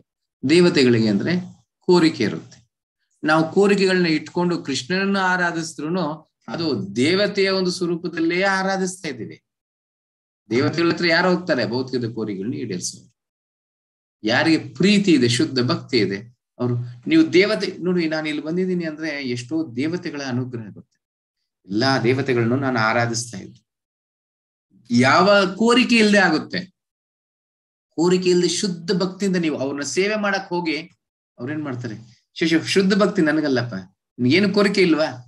ಕೃಷ್ಣ ಹೋಗು. ನೀವು ಬಾಬಾನ ಆರಾಧಿಸಿ, ನೀವ ದೇವತೆಗಳನ್ನ ಆರಾಧಿಸಿ ದೇವತೆ ಯಾರನ್ನೇ ಆರಾಧಿಸಿ, ನಮ್ಮ ಕೋರಿಕೆ ಇರೋವರೆಗೂ ನಾವು ಅವ್ರನ್ನ ನಮ್ಮ ಮಟ್ಟಿಗೆ ಇಟ್ಕೊಂಡಿರ್ತಾರೆ. ಒಂದು ಬಾರಿ ಕೋರಿಕೆ ಇಲ್ಲದೆ ಶುದ್ಧ ಪ್ರೇಮ ಅವ್ರಿಗೆ ತೋರ್ಸಕ್ ಹೋಗಿ, ಆಹಾ, ಇವಾಗ ನೀನು ಅರ್ಹನೋ ಅಂತ ಅವರು ಭಗವಂತನಿಗೆ ಕೃಷ್ಣನ ಕಡೆಗೆ ನಮ್ಮನ್ನ ಕಳಿಸ್ತಾರೆ. ಆವಾಗೆ ಶಿಲಪ್ರಭುಪಾದರಂತ ಪುಸ್ತಕಗಳು ಬರೋದು, ಇಲ್ಲ ಭಕ್ತರು ಯಾರೋ ಬರೋದು, ಪರಿಚಯ ಆಗೋದು, ಈ ಒಂದು ಜ್ಞಾನ ನಮಗ್ ಸಿಗೋದು ನಂತರ ನಾವು ಆ ಕಡೆಗೆ what do they grant what is good for us ಇದನ್ನ ಶಾಪ್ ಕೀಪರ್ ಹೇಳಿದ್ನಲ್ಲ, ಅಂಗಡಿ ವಿಚಾರ. ಸೊ ನಾವು ದುಡ್ಡು ಕೊಟ್ಟಾಗ, ನೂರು ರೂಪಾಯಿ ಕೊಟ್ಟಾಗ ಆತ ನೂರು ಚಾಕ್ಲೇಟ್ ಕೊಡ್ತಾನೆ. ತಂದೆ ಆದ್ರೆ, ಏ, ಆರೋಗ್ಯ ಕೆಟ್ಟ, ಒಂದು ಕೊಡ್ತಾನೆ. ಸೊ ಇಲ್ಲಿ ದೇವತೆಗಳನ್ನ ಆರಾಧಿಸಿದಾಗ ಏನ್ ಮಾಡ್ತಾರೆ? ನಮ್ಗೆ ಏನ್ ಬೇಕು ಅದನ್ನ ಕೊಡ್ತಾರೆ. ಕೃಷ್ಣ ಆರಾಧಿಸಿದಾಗ ನನ್ಗೆ ಏನು ಒಳ್ಳೇದು ಅದನ್ನು ಕೊಡ್ತಾರೆ. ಬ್ಲೆಸ್ಸಿಂಗ್ಸ್ ಎಟರ್ನಲ್ ಟೆಂಪ್ರವರಿ ಕೃಷ್ಣನು ನಮ್ಗೆ ಕೊಡೋದು ಶಾಶ್ವತವಾದದ್ದು. ನಮ್ಮ ಆತ್ಮಕ್ಕೆ ಸಂಬಂಧಪಟ್ಟಿರೋದು. ನನಗೆ ಸಂಬಂಧಪಟ್ಟಿರೋದು. ಇದು ದೇವತೆಗಳು ಕೊಡೋದು, ನನ್ನ ದೇಹಕ್ಕೆ ಸಂಬಂಧಪಟ್ಟ ವೆರಿ ಸಿಂಪಲ್ ಇದು ಅಶಾಶ್ವತ, ಇದು ಶಾಶ್ವತ. ಇಲ್ಲಿ ನೋಡ್ಬೋದು, ದೇವತೆಗಳು ಮತ್ತೆ ದೇವ, ಕೃಷ್ಣನ ವ್ಯತ್ಯಾಸ ಏನು? ನಾವು ಒಂದು ಕಂಪನಿ ನಡೆಸ್ಬೇಕು ಅಂದ್ರೆ ಹಲವಾರು ಜನ ನಮಗ್ ಬೇಕು. ಇವಾಗ ಈ ಒಂದು ಇಡೀ ವಿಶ್ವವನ್ನೇ ನಡೆಸಬೇಕು ಅಂದ್ರೆ ಎಷ್ಟು ಜನ ಬೇಕಾಗುತ್ತೆ ನಮಗೆ? ಮೂವತ್ತು ಮೂರು ಕೋಟಿ ಜನ ಬೇಕಾಗುತ್ತೆ. ಇಲ್ಲಿ ನೋಡ್ಬೋದು ಯಾವ ರೀತಿ. ಒಂದು ಅಡ್ಮಿನಿಸ್ಟ್ರೇಷನ್ ಒಂದು ಕಂಪನಿ ನಡೆಸಬೇಕು ಅಂದ್ರೆ sales head finance head purchase department marketing R and D accounts H R ಇದೆಲ್ಲ ಬೇಕಾಗುತ್ತಲ್ಲ. ಅದೇ ರೀತಿನೇ ವಿಶ್ವವನ್ನು ನಡೆಸುವಾಗ ಈ ಒಂದು ಮೂವತ್ತ್ ಮೂರು ಕೋಟಿ ದೇವತೆಗಳು ಇರ್ತವೆ ಎಲೆಕ್ಟ್ರಿಸಿಟಿ ಸೂರ್ಯ, ಯಾವ್ಯಾವ ಡಿಪಾರ್ಟ್ಮೆಂಟ್ ನೋಡಿ ಹೆಂಗಿದೆ? Construction Brahma power Agni water Varuna defence Kartikeya Om Durgadevi wind Vayu ಈ ರೀತಿ ಪ್ರತಿಯೊಂದಕ್ಕೂ ಒಂದೊಂದು. ಅದಕ್ಕೆ ವಿದ್ಯೆ ಬೇಕಾ ಸರಸ್ವತಿನ ಆರಾಧಿಸ್ಬೇಕು. ಒಳ್ಳೆಯ ಗಂಡ, ಒಳ್ಳೆಯ ಹೆಂಡತಿ ಏನಾದ್ರೂ ಬೇಕಾಗುತ್ತಾ? ಅವಾಗ ಭವಾನಿ, ಪಾರ್ವತಿನ ಆರಾಧಿಸ್ಬೇಕು. ಆರೋಗ್ಯ ಬೇಕಾ? ಸೂರ್ಯನನ್ನ ಆರಾಧಿಸ್ಬೇಕು. ಅರ್ಥ ಆಗ್ತಿದೆ? ಮೂವತ್ಮೂರು ಕೋಟಿ ದೇವತೆಗಳು ಆ ಒಂದು ಸೇವೆಯಲ್ಲಿ ತೊಡಗಿರ್ತಾರೆ. ಇವಾಗ ನಮ್ಮ ಭಾರತ ದೇಶ ಒಂದು ಪ್ರಧಾನಮಂತ್ರಿ ಒಬ್ಬರೇ. ಅವ್ರ ಕೆಳಗಡೆ ಎಷ್ಟು ಎಂ ಪಿಗಳಿರ್ತಾರೆ ಎಷ್ಟು ಚೀಫ್ ಮಿನಿಸ್ಟರ್ಗಳಿರ್ತಾರೆ, ಎಷ್ಟು ಎಂ ಎಲ್ ಎಗಳಿರ್ತಾರೆ, ಎಷ್ಟು ಕಾರ್ಪೊರೇಟರ್ಗಳಿರ್ತಾರೆ ಕರೆಕ್ಟ್? ನಮ್ಮ ಇವಾಗ ಮನೆಯಲ್ಲಿ ಕಾವೇರಿ ನೀರು, ಟ್ಯಾಪ್ ಓಪನ್ ಮಾಡಿದ್ರೆ ಕಾವೇರಿ ನೀರು ಬರುತ್ತೆ. ಯಾರು ಇದಕ್ಕೆ ಕಾರಣ? ಇವಾಗ ನಮ್ ಕಾರ್ಪೊರೇಷನ್ ನೀರು ಬರ್ಲಿಲ್ಲ ಯಾರನ್ನ ಕೇಳ್ತೀವಿ? ಕಾರ್ಪೊರೇಟರ್ ಹೋಗಿ ಕೇಳಿದ್ರೆ ಬರುತ್ತೆ ಅಂತ ಹೋಗಿ ಕೇಳ್ತೀವಿ, ಅಲ್ವಾ? ಅದ್ರ ನಿಜವಾಗ್ಲೂ ಯಾರಿಂದ ಬರ್ತಾ ಇದೆ? ಪ್ರೈಮ್ ಮಿನಿಸ್ಟರ್ ಇಂದ ಬರುತ್ತೆ. ಹೆಂಗೆ? ಆ ಒಂದು ಇದನ್ನ ಹಾಕಿ ಅವರು ಸ್ಯಾಂಕ್ಷನ್ ಮಾಡಿದ ನಂತರನೇ ಆ ಒಂದು ಕಾರ್ಯವನ್ನು ಇವ್ರು ಮಾಡಿ ಇವ್ರ ನಂತರ ನಮಗೆ ಅದು ಬರುವಂತದ್ದು ಅದೇ ರೀತಿ ಕೃಷ್ಣನ ಅನುಮತಿಯಿಂದನೇ ದೇವತೆಗಳೆಲ್ಲ ನಮಗ್ ಕೊಡೋದು. ನಮ್ಗೆ ಏನೋ ಸಿಗ್ತಾ ಇದೆ. ಆ ವರ ಏನಾದ್ರೂ ಸಿಗ್ತಾ ಇದೆ ದೇವತೆಗಳಿಂದ ಅಂದ್ರೆ ದೇವತೆಗಳಿಂದ ಅಲ್ಲ, ಅದು ಕೃಷ್ಣನಿಂದ ಬರ್ತಾ ಇದೆ. ಪರೋಕ್ಷವಾಗಿ ನಾವು ದೇವತೆಗಳ ಮುಖಾಂತರ ತಗೊಂತಿದೀವಿ ಆದ್ರೆ ಕೃಷ್ಣನೇ ಕೊಡ್ತಾ ಇರೋದು. ಎಲ್ಲದರ ಮೂಲನೂ ಕೃಷ್ಣನೇ. And Krishna is the supreme personality god ದೇವೋತ್ತಮ ಪರಮಕೃಷ್ಣ ಕೃಷ್ಣ ಕೃಷ್ಣ. ನೆಕ್ಸ್ಟ್ ಭಕ್ತಿ ನೋಡೋಣ. ಅನನ್ಯಶ್ಚಿಂತೆಯಂತ ಮಾಂ ಯೇ ಜನ ಪರ್ಯುಪಾಸತೆ ತೇಷಾಂ ನಿತ್ಯಾಭಿಯುಕ್ತಾನಾಂ ಯೋಗಕ್ಷೇಮ ಮೊಹಾಮ್ಯಂ ಮುಖ್ಯವಾದ ಶ್ಲೋಕಗಳು ಇಲ್ಲಿಂದ ಪ್ರಾರಂಭ ಆಗುತ್ತೆ. ಇಲ್ಲಿ ಕೃಷ್ಣ ಹೇಳ್ತಾನೆ ಅನನ್ಯ ಚಿಂತೆ ಅಂತ ಮಾಂ ನನ್ನ ಭಕ್ತರು ಯಾರು ನನ್ನ ಸದಾ ನನ್ನ ಚಿಂತೆಯಲ್ಲಿ ಇರ್ತಾನೆ. ನನ್ನನ್ನ ಬೇರೆ ಯಾವುದೇ ಚಿಂತೆ ಇಲ್ಲದೆ ನನ್ನದೇ ಒಂದು ಆರಾಧನೆ ಇರ್ತಾನೆ. ಅವನನ್ನು ಯೋಗಕ್ಷೇಮ ಮೊಹಾಮ್ಯಹಂ ನಾನು ಖುದ್ದಾಗಿ ರಕ್ಷಿಸ್ಕೊಳ್ತೀನಿ. ಇದರಲ್ಲಿ ಒಂದು ಸಂಗತಿ ಕೂಡ ನಡೀತು. ಇತ್ತೀಚೆಗೆ ವೃಂದಾವನದಲ್ಲಿ ನಡೆದಂತದ್ದು ಆ, ಏನು ಅರ್ಜುನಾಚಾರ್ಯ ಅಂತ ಒಬ್ರು ಇರ್ತಾರೆ. ಅವ್ರು ಇದೇ ಶ್ಲೋಕ ತೀರ ಬಡತನದಲ್ಲಿ ಇರ್ತಾರೆ. ಇದೇ ಶ್ಲೋಕವನ್ನು ಓದ್ತಾರೆ. ಯೋಗಕ್ಷೇಮ ಮಹಾಮ್ಯಂ ಅದರ ಅರ್ಥ ಏನು? ನಾನು ಖುದ್ದಾಗಿ ಬರ್ತೀನಿ. ಇಲ್ಲ. ಅಖಿಲಾಂಡ ಕೋಟಿ ಬ್ರಹ್ಮಾಂಡ ನಾಯಕನು ಕೃಷ್ಣನು ಖುದ್ದಾಗಿ ಬರೋದು. ದೇವತೆಗಳು ಇಷ್ಟು ಜನ, ದೇವತೆ ಮೂವತ್ತ್ ಮೂರು ಕೋಟಿ ದೇವತೆಗಳಿದ್ದಾರೆ. ಅವ್ರ ಮುಖಾಂತರ ನನಗೆ ಏನಾದ್ರು ಬೇಕಾದ್ರೆ ಈಡೇರಿಸ್ತಾರೆ. ಅಂದ್ರೆ ಕೃಷ್ಣನು ನೇರವಾಗಿ ಬರೋದಿಲ್ಲ. ಈ ರೀತಿಯಾಗಿ ಏನಂತಾರೆ, ಆ ಕೊನೆಯ ಲೈನ್ ಒಂದು ಗೆರೆ ಆಗ್ಬಿಡ್ತಾರೆ. ತೀರ ಬಡತನದಲ್ಲಿ ಇರ್ತಾನೆ. ಗೆರೆ ಹಾಕ್ಬಿಟ್ಟು ಭಿಕ್ಷಾಟನೆಗೆ ಅಂತ ಹೋಗ್ಬಿಡ್ತಾರೆ. ಹೋದ ನಂತರ ಏನಾಗುತ್ತೆ, ಇಬ್ರು ಹುಡುಗರು ಬರ್ತಾರೆ, ಒಬ್ರು ಬೆಳ್ಳಗೆ, ಒಬ್ರು ಕರ್ಗೆ. ಬಂದು ಒಂದು ಮೂಟೆ. ಮನೆಗೆ ಏನೆಲ್ಲ ಇರಬೇಕು? ದಿನ ಇದೆಲ್ಲ ತಗೊಂಡ್ಬಂದ್ಬಿಟ್ಟು ತರಕಾರಿಗಳೆಲ್ಲ ತಿಂದು ಅಲ್ಲಿ ಅವ್ರ ಹೆಂಡತಿಗೆ ಕೊಡ್ತಾರೆ. ಹೇಳ್ತಾರೆ, ಯಾರಪ್ಪ ನೀವು ಅಂದ್ರೆ, ಇಲ್ಲ, ನಾವು ಅರ್ಜುನಾಚಾರ್ಯ ಶಿಷ್ಯಂದ್ರು.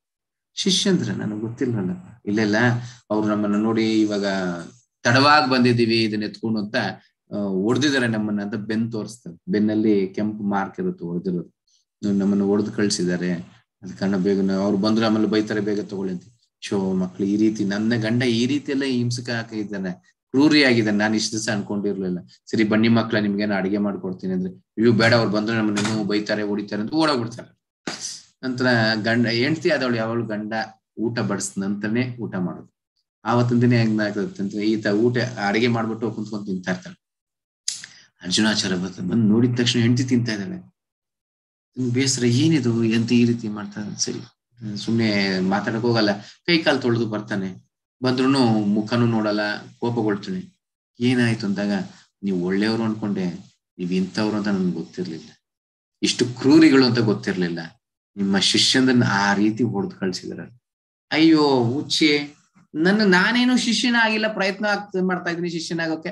ನನಗ್ ಶಿಷ್ಯ ಯಾವನಿದ್ರೆ ಇಲ್ಲ, ನನ್ಗೆ ಗೊತ್ತು. ನಿಮ್ಮ ಇಬ್ರು ಮಕ್ಕಳು ಶಿಷ್ಯಂದ್ರಾಗಿದ್ರೆ ನೀವು ಅವ್ರನ್ನ ಒಡೆದು ಕಳ್ಸಿದಾರ ಇದನ್ನೆಲ್ಲ ತಗೊಂಡ್ಬರ್ಲಿಲ್ಲ ಅಂತ. ಏನ್ರಿ ಒಂದ್ ತಡಲೆ ಆಯ್ತಾ ಏನಪ್ಪ ತಲೆ ಕೆಟ್ಟಿದೆ, ಏನೇನೋ ಮಾತಾಡ್ತಾ ಇದ್ದಾಳಂತ ಸರಿ, ನಾನು ಅಟ್ಲೀಸ್ಟ್ ಎಲ್ಲಿ ನಿಲ್ಸಿದ್ದೆ ಭಗವದ್ಗೀತೆನ. ಅದನ್ನ ಪಾರಾಯಣಾದ್ರೂ ಮಾಡೋಣ ಇತ್ತು ಈಕೆ ಆದ್ರೆ ಏನ್ ಚರ್ಚೆ ಮಾಡೋದು ಹೋಗ್ಬಿಡ್ತಾನೆ. ಹೋಗ್ಬಿಟ್ಟು ಅಲ್ಲಿ ಓದಕ್ ಹೋಗ್ತಾನೆ. ಇದೇ ಶ್ಲೋಕ ತೆಗೆದು ನೋಡಿದಾಗ ಆ ಕೆಂಪು ಗೆರೆ ಒಂದು ಹಾಕಿರ್ತಾನಲ್ಲ, ಅದು ಕಣ್ಮರೆ ಆಗಿರುತ್ತೆ. ಆಶ್ಚರ್ಯಚಕಿತಗೊಂಡು ಏನ ಏನಾಯ್ತು ನನ್ ಕರೆಕ್ಟ್ ಆಗಿ ಹೇಳೋಣ ಅವಾಗ? ಇಬ್ರು ಬಂದಿದ್ರು, ಈ ರೀತಿ ನೀವು ಆ ಕರ್ರಗಿರೋ ಒಂದು ಹುಡುಗನ್ನ ಹೊಡೆದಿದ್ರಿ, ಶೋ, ಆವಾಗ ಆಕೆ ಹತ್ರ ಪ್ರಾರ್ಥನೆ ಮಾಡ್ತಾನೆ, ಎಂತ ಮಹಾಭಕ್ತಳು ನೀನು? ಭಗವಂತನ ನೇರವಾದ ದರ್ಶನ ನಿನಗಾಯ್ತು. ಸಾಕ್ಷಾತ್ ಕೃಷ್ಣನೇ, ಕೃಷ್ಣ ಬಲರಾಮರು ಇಬ್ರು ಬಂದು ಇದನ್ನ ಕೊಟ್ಟಿದ್ದಾರೆ. ಏನಕ್ಕೆ ರುಜುವಾತ್ ಮಾಡೋದಕ್ಕೆ? ನನ್ನ ಚಿಂತೆಯಲ್ಲಿ ಯಾರಿದ್ದಾರೆ? ನಾನು ನೇರವಾಗಿ ಅವರ ರಕ್ಷಣೆ ಮಾಡ್ತೀನಿ. ಬೇರೆಯವರಿಗೆಲ್ಲ ದೇವತೆಗಳು, ಮೂವತ್ಮೂರು ಕೋಟಿ ದೇವತೆಗಳು ಇರೋದು ಬೇರೆಯವ್ರಿಗೆ.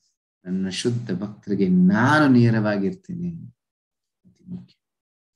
ಓ, ನಾವು ಬೇರೆ ಕೃಷ್ಣನ ಭಕ್ತರಾದ್ರೆ ವಾರಸುದಾರರಾಗ್ತೀವಿ.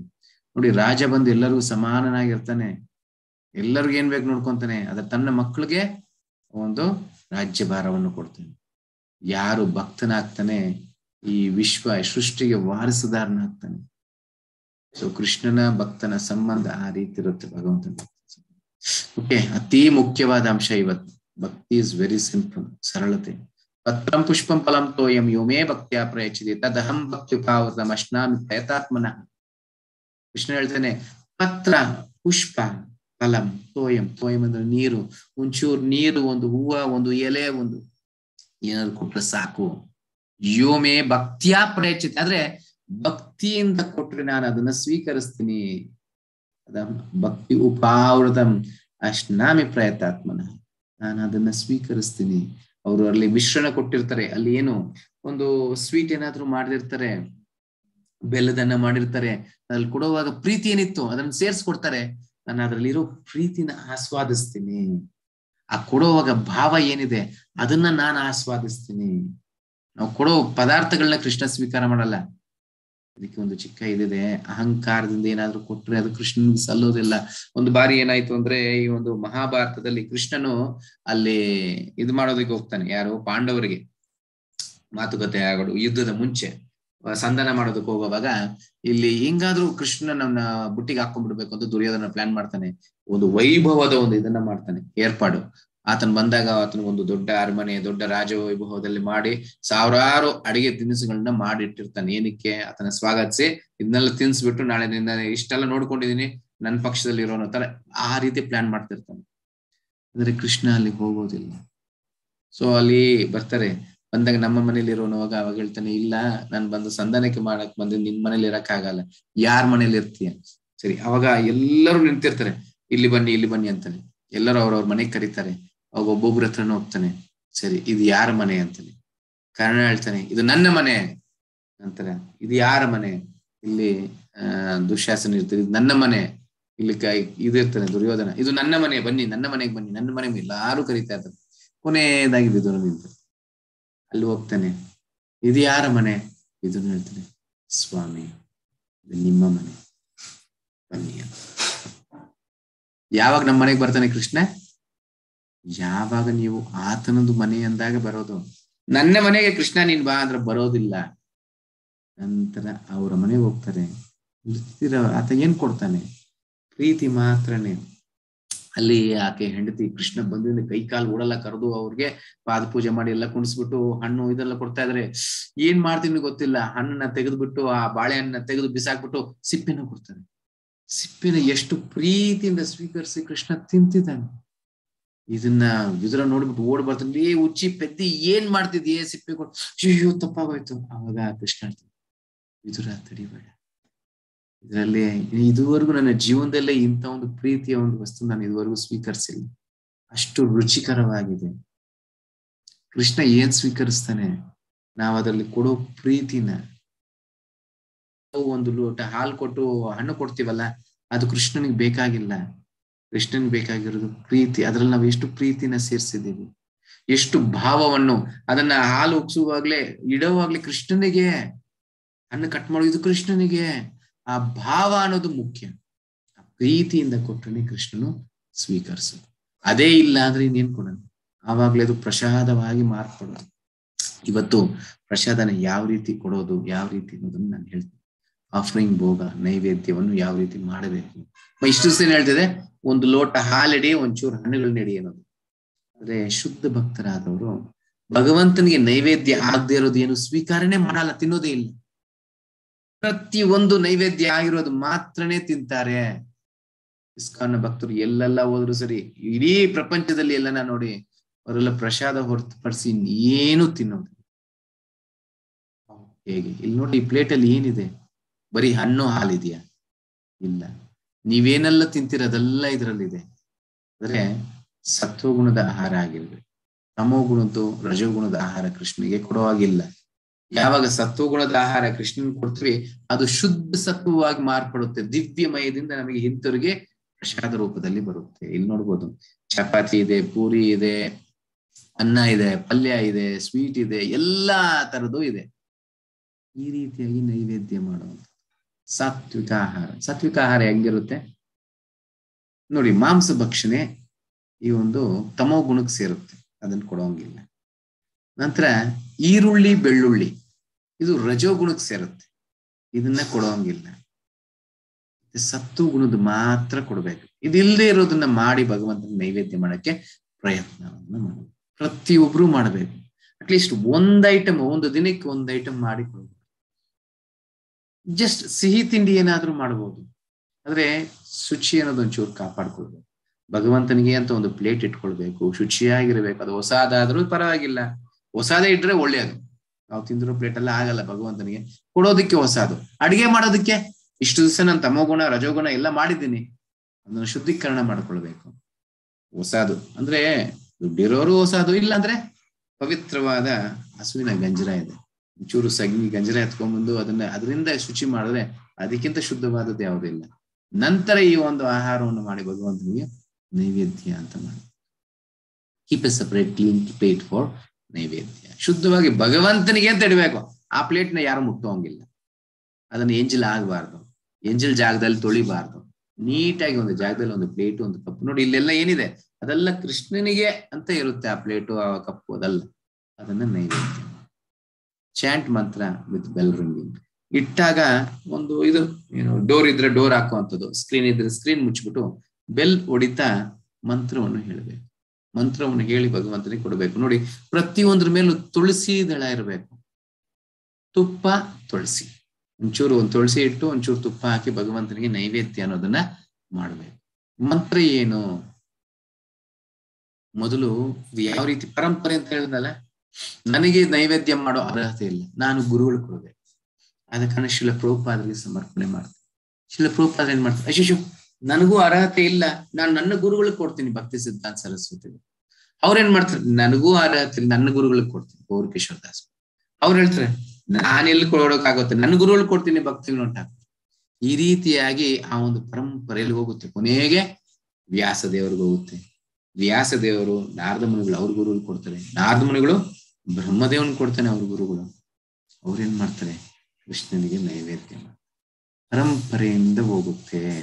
ನಮಗೆ ಅನುಗ್ರಹನು ಅದೇ ರೀತಿನೇ ಪರಂಪರೆ ಮುಖಾಂತರ ಬರುತ್ತೆ. ನಾವೇನಾದ್ರೂ ಕೊಟ್ರು ಅಷ್ಟೇ ಅದೇ ರೀತಿ ಪರಂಪರೆ ಮುಖಾಂತರ ಕೃಷ್ಣನಿಗೆ ತಲುಪುತ್ತೆ. ನೇರವಾಗಿ ಹೋಗೋದಿಲ್ಲ. ಸೊ ಏನ್ ಮಂತ್ರ? ಮೊದಲು ಗುರುಗಳ ಪ್ರಣಾಮ ಮಂತ್ರ.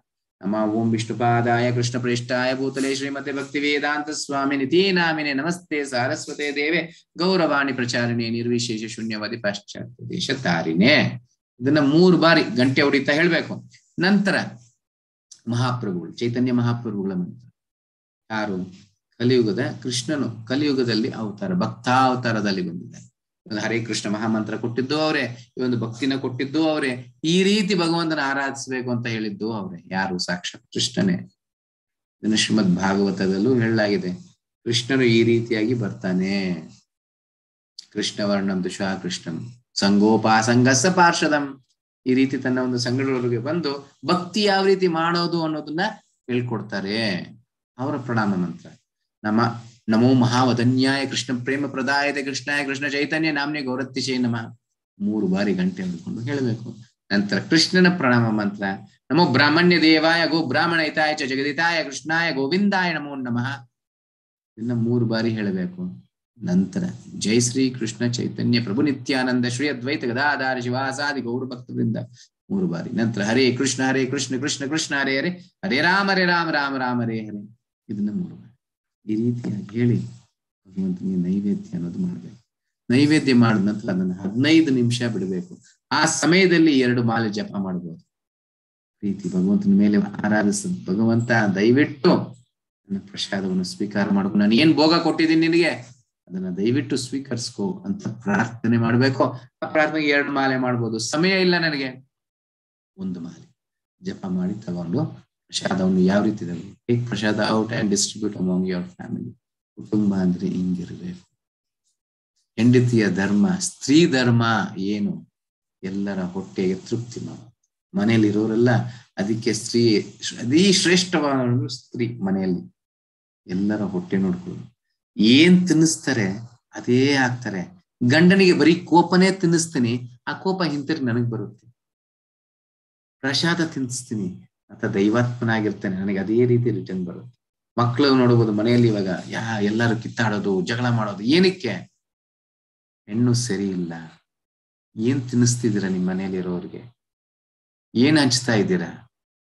ಬರೀ ಕೋಪನ, ದ್ವೇಷನ ಹಂಚ್ತಾ ಇದ್ದೀರಾ? ನಾನು ಏನ್ ಅಡಿಗೆ ಮಾಡ್ತೀನಿ, ಯಾವ ಗುಣದಲ್ಲಿ ಮಾಡ್ತೀನಿ ಅದೇ ಪ್ರಭಾವ ಕೋಪದಿಂದ ಮಾಡಿದಾಗ ಅದು ಕೋಪದ ಒಂದು ಪ್ರಭಾವನೆ ಕೊಡುತ್ತೆ ತಿಂದವರಿಗೆ. ಕಾನ್ಶಿಯಸ್ನೆಸ್ ಅತಿ ಮುಖ್ಯ. ಈ ರೀತಿಯಾಗಿ ನನ್ನ ಗಂಡ ಹೆಂಡತಿಗೆ ಅದಕ್ಕೆ ಮುಂಚೆ ಕೃಷ್ಣನಿಗೆ ಮಾಡಿ ನಂತರ ಆ ಪ್ರಸಾದವನ್ನು ಇವರಲ್ಲೂ ಮಹಾತ್ಮರಾಗ್ಬೇಕು, ಭಕ್ತರಾಗ್ಬೇಕು ಅಂತ ಅವ್ರಿಗೆ ಪ್ರೀತಿಯಿಂದ ಹಂಚ್ತಾ ಈ ರೀತಿ ಮಾಡುವಾಗ ಆ ಕುಟುಂಬ ಅಷ್ಟು ಆನಂದ. ಆಗಿನ ಕಾಲದಲ್ಲಿ ಇದೆಲ್ಲ ಇತ್ತು. ಇದೇ ನಮ್ಮ ಸಂಸ್ಕಾರ. ಈ ರೀತಿ ಇರೋದೇ ಹೆಣ್ಮಕ್ಳೆಲ್ಲ ನಾನೇ ಗಂಡಸು ಅಂತ ಹೋಗೋದಲ್ಲ. ಸರಿ, ಇವಾಗ ಸಮಾಜ ಕೆಟ್ಟೋಯ್ತು ಬಿಡಿ. ತುಂಬಾ ದೂರ ಬಂದ್ಬಿಟ್ಟಿದೀವಿ ಇವತ್ತು ಒಂದೇ ದಿವಸಕ್ಕೆಲ್ಲ ಬದಲಾವಣೆ ಆಗಲ್ಲ, ಬಟ್ ಆಗುತ್ತೆ. ಜೀವನದಲ್ಲಿ ಸ್ವೀಕಾರ ಮಾಡಿದಾಗ ಅದಕ್ಕೆ ಗಂಡ ಅಡಿಗೆ ಮಾಡಬಾರ್ದ? ಮಾಡ್ಬೋದು. ಗಂಡ, ಹೆಂಡತಿ ಇಬ್ರು ಒಂದು ಒಬ್ರಿಗೊಬ್ರು ಪರಸ್ಪರ ಸಹಾಯ ಮಾಡ್ಕೊಳ್ಬೇಕು. ಇಲ್ಲಿ ಯಾರು ಹೆಚ್ಚು ಇಲ್ಲ, ಕಡಿಮೆನೂ ಇಲ್ಲ. ಇಬ್ರು ಕೃಷ್ಣನ ಸೇವಕರು. ಯಾವಾಗ ನಾನ್ ಗ್ರೇಟ್ ನಾನ್ ಗ್ರೇಟ್ ಅಂದ್ರೆ ಇಬ್ರು ಪತನ. ಇಲ್ಲಿ ಯಾರು ಗ್ರೇಟು ಅಲ್ಲ, ಯಾರು ಎಲ್ಲರೂ ಕೃಷ್ಣನ ಸೇವಕರು. ಮಧ್ಯದಲ್ಲಿ ಕೃಷ್ಣ ಇದ್ದಾಗ ಆ ಕುಟುಂಬ ಒಗ್ಗಟ್ಟಲ್ಲಿರುತ್ತೆ ಆಗಿನ ಕಾಲದ ನಲ್ವತ್ತೈವತ್ತು ಜನ ಮನೇಲಿ ಹೆಂಗಿದ್ರು? ಏನಾದ್ರು ಗೊತ್ತಾ ನಿಮಗೆ? ಮಧ್ಯದಲ್ಲಿ ಕೃಷ್ಣನ್ ಇರ್ತಾ ಇದ್ರು, ಭಗವಂತನು ಭಯ ಇತ್ತು, ಧರ್ಮದಲ್ಲಿ ನಡಿಬೇಕು ಅಂತಿತ್ತು. ಸಂಪಾದನೆ ಮಾಡಿದವ್ರ ತಗೊಂಬಂದಲ್ಲಿ ಅವರು ಆ ಕುಟುಂಬಕ್ಕೆ ಹಿರಿಯ ಯಾರು? ಅವ್ರು ಹೇಳಿದ್ರು ಮಾತು ಕೇಳೋರು ಈ ರೀತಿ ಕುಟುಂಬ ಆನಂದದಲ್ಲಿತ್ತು. ಇದನ್ನ ನೀವು ನಿಮ್ಮ ಜೀವನದಲ್ಲಿ ಪ್ರಾಕ್ಟೀಸ್ ಮಾಡಿ. ಆನಂದ ಯಾಕಿರಲ್ಲ? ನೋಡೋಣ. ಈ ರೀತಿ ಭಗವಂತನ ನೈವೇದ್ಯ ಮಾಡಿ ಎಲ್ಲರೂ ಒಟ್ಟಿಗೆ ಸೇರ್ಕೊಂಡು ಈ ರೀತಿ ಇವತ್ತಿನ ದಿನ ಒಟ್ಟಿಗೆ ಸೇರಿ ಊಟ ಸಹ ಮಾಡೋದಿಲ್ಲ. ಟಿವಿ ನೋಡ್ಕೊಂಡು, ಇದನ್ನ ನೋಡ್ಕೊಂಡು ಮೊಬೈಲ್ ನೋಡ್ಕೊಂಡು, ಇವ್ರು ಇಲ್ಲಿ ಬಾಯಿಗೆ ಹಾಕೊಂತಾರೆ ಅಲ್ಲಿ ಅವ್ರು ಬಾಯಿಗೆ ಹಾಕೊಂತ ಇದ್ರೆ ಒಂದು ಸಮಯ, ಇನ್ನೊಂದು ಸಮಯ. ಸಮಯ ದಿನಪೂರ್ತಿ ಆಗಿಲ್ಲ ಓಕೆ. ಒಂದೊತ್ತು ಅಟ್ಲೀಸ್ಟ್ ರಾತ್ರಿ ಹೊತ್ತು, ಇಲ್ಲ ಬೆಳಿಗ್ಗೆ ಹೊತ್ತು, ನಿಮ್ಗೆ ಯಾವಾಗ ಸಮಯ? ಇಡೀ ಕುಟುಂಬ ಎಷ್ಟು ಜನ ಇದೆ? ಎಲ್ಲರೂ ಒಟ್ಟಿಗೆ ಕುಂತ್ಕೊಂಡು ಮಾತಾಡ್ತಾ ಅದ್ರ ಆನಂದನೇ ಬೇರೆ. ಇದನ್ನ ನೋಡಿ ಭಕ್ತಿನ ಸ್ವೀಕರಿಸಿ ಕೃಷ್ಣನಿಗೆ ನೈವೇದ್ಯ ಪ್ರಾರಂಭ ಮಾಡಿ, ಭಕ್ತಿ ಅಂದ್ರೆ ಏನು, ಆನಂದ ಅಂದ್ರೆ ಏನು ಅನ್ನೋದು ಆಮೇಲೆ ನನಗೆ ಹೇಳಿ. ಈ ಹದಿನೆಂಟು ದಿನ ಸಾಕು ಅನ್ನಲ್ಲ ಇವತ್ತು ಒಂಬತ್ತನೇ ಒಂಬತ್ತನೇ ದಿನ. ಇನ್ನು ಒಂಬತ್ತು ದಿನದಲ್ಲಿ ನಿಮ್ಮ ಮನೆಯಲ್ಲಿ ಎಷ್ಟು ಆನಂದ ಇರುತ್ತೆ ಅಂತ ನೋಡಿ. ಪ್ರತಿಯೊಬ್ಬರು ಹರೇ ಕೃಷ್ಣ ಮಹಾಮಂತ್ರ ಜಪಿಸ್ಬೇಕು, ಈ ರೀತಿ ಆನಂದದಿಂದ ಪ್ರಸಾದವನ್ನು ಸ್ವೀಕರಿಸಿ. ಇಷ್ಟೇ ಜೀವನ. ಇವಾಗ ಹಲವಾರು ಅಂಶಗಳು ಈ ಒಂದು ಅಧ್ಯಾಯದಲ್ಲಿದೆ, ಮುಂದಕ್ಕೆ ಹೋಗೋಣ. In essence work is needed even for bodily maintenance ಕೆಲಸ ಅನ್ನೋದು ಮಾಡಲೇಬೇಕು. ನಿಷ್ಕಾಮ ಕರ್ಮಯೋಗ ಕೆಲಸ ಮಾಡಲೇಬೇಕು, ದೇಹನ ಕಾಪಾಡ್ಕೊಳ್ಳೋಕೆ religious duties do it only for Krishna ಕೃಷ್ಣನಿಗೋಸ್ಕರ ಒಂದು ಕೆಲಸವನ್ನು ಮಾಡಿ. ಈ ಓನ್ಲಿ ಪ್ರಸಾದ ಪ್ರಸಾದ ಮಾತ್ರ ತಿನ್ನಿ. ಇವತ್ತಿನ, ಇವತ್ತಿಂದ ಪ್ರಾರಂಭ ಮಾಡಿ. ಅವತ್ತು ಹೇಳ್ದೆ, ಹಾಲು, ಹಣ್ಣು ಇವತ್ತಿಂದ ಪ್ರಾರಂಭ ಮಾಡಿ ಅಂತ. ಮತ್ತೆ ಇವತ್ತು ಹೇಳ್ತೀನಿ, ಇವತ್ತಿಂದ ಪ್ರಾರಂಭ ಮಾಡಿ. ಒಂದ್ ಐಟಮ್ ಇವತ್ತಿಂದ ಸಿಹಿ ತಿಂಡಿ ಏನಾದ್ರು ಮಾಡಿ. ಏನಾದ್ರೂ ಒಂದು ಕೇಸರಿ ಬಾತ್ ಆಗಿರ್ಬೋದು, ಇಲ್ಲ ಯಾವುದೋ ಒಂದು ಮಾಡಿ ಭಗವಂತನ ನೈವೇದ್ಯ ಮಾಡಿ. ಶುಚಿಯಾಗಿ, ಭಕ್ತಿಯಾಗಿ ಆ ಒಂದು ಭಾವದಲ್ಲಿ ಭಗವಂತನಿಗೆ ಮಾಡಿ. ಮಾಡಿ ಇವತ್ತಿಂದ ಪ್ರಾರಂಭ ಮಾಡಿ. ಸಾಧ್ಯ ಆಯ್ತು ಅಂದ್ರೆ ಈರುಳ್ಳಿ, ಬೆಳ್ಳುಳ್ಳಿ ಇಲ್ದಿರೋ ಒಂದ್ ಐಟಮ್ ಮಾಡಿ ನೀವು ಕೊಡಿ. ಬರೀ ಎಷ್ಟು ದಿವಸ ಅಂತ ನಾವು ಇಂದ್ರ ತೃಪ್ತಿಯಲ್ಲಿ ನಾನು ನಾನು ನಾನು ಅಂತ ಈ ರೀತಿ ನಾವು ಅದನ್ನ ಆಗ್ತಾ ಇರ್ಬೇಕು. ಕೃಷ್ಣನ್ ಯಾವತ್ತು ಮಧ್ಯದಲ್ಲಿ ಇಟ್ಕೊಳ್ಳೋದು? ಪ್ರೀತಿಯಿಂದ ಇದು ಮಾಡೋದಕ್ಕೆ ಪ್ರಯತ್ನ ಮಾಡಿ. ಸತ್ವ ಗುಣಕ್ಕೆ ಬರಕ್ಕೆ ಪ್ರಯತ್ನ ಮಾಡಿ. ಇದು ಹದ್ನಾಲ್ಕನೇ ಅಧ್ಯಾಯ ಬಂದಾಗ ಇನ್ನು ಹೆಚ್ಚಿಗೆ ಹೇಳ್ತೀನಿ.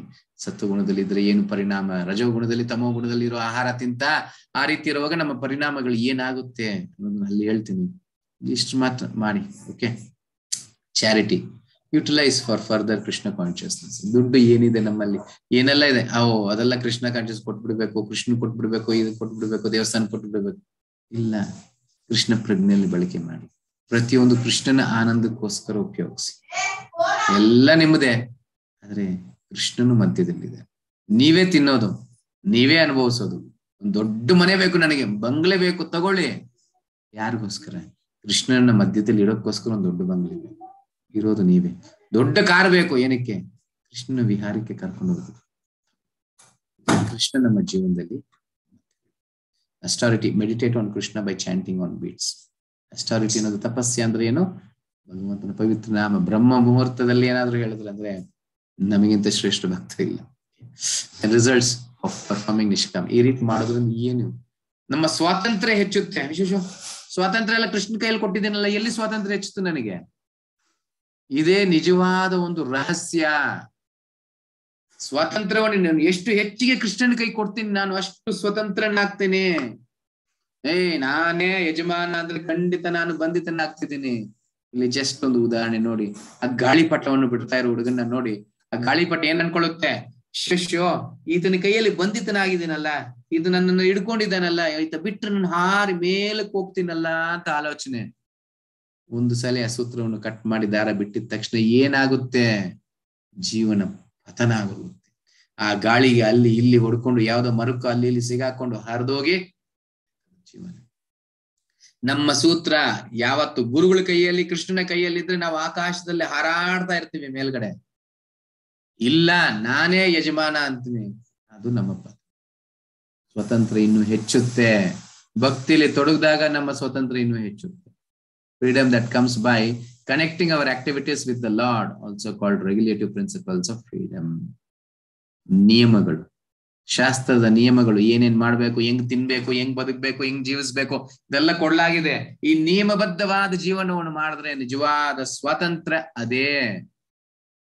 ಇಲ್ಲ ಗೊತ್ತಾಗುತ್ತೆ ನಮಗೆ. ತುಂಬಾ ದೂರ ಇದ್ದೀವಿ, ಸತ್ಯಾಂಶಕ್ಕೆ ದೂರ ಇದ್ದೀವಿ.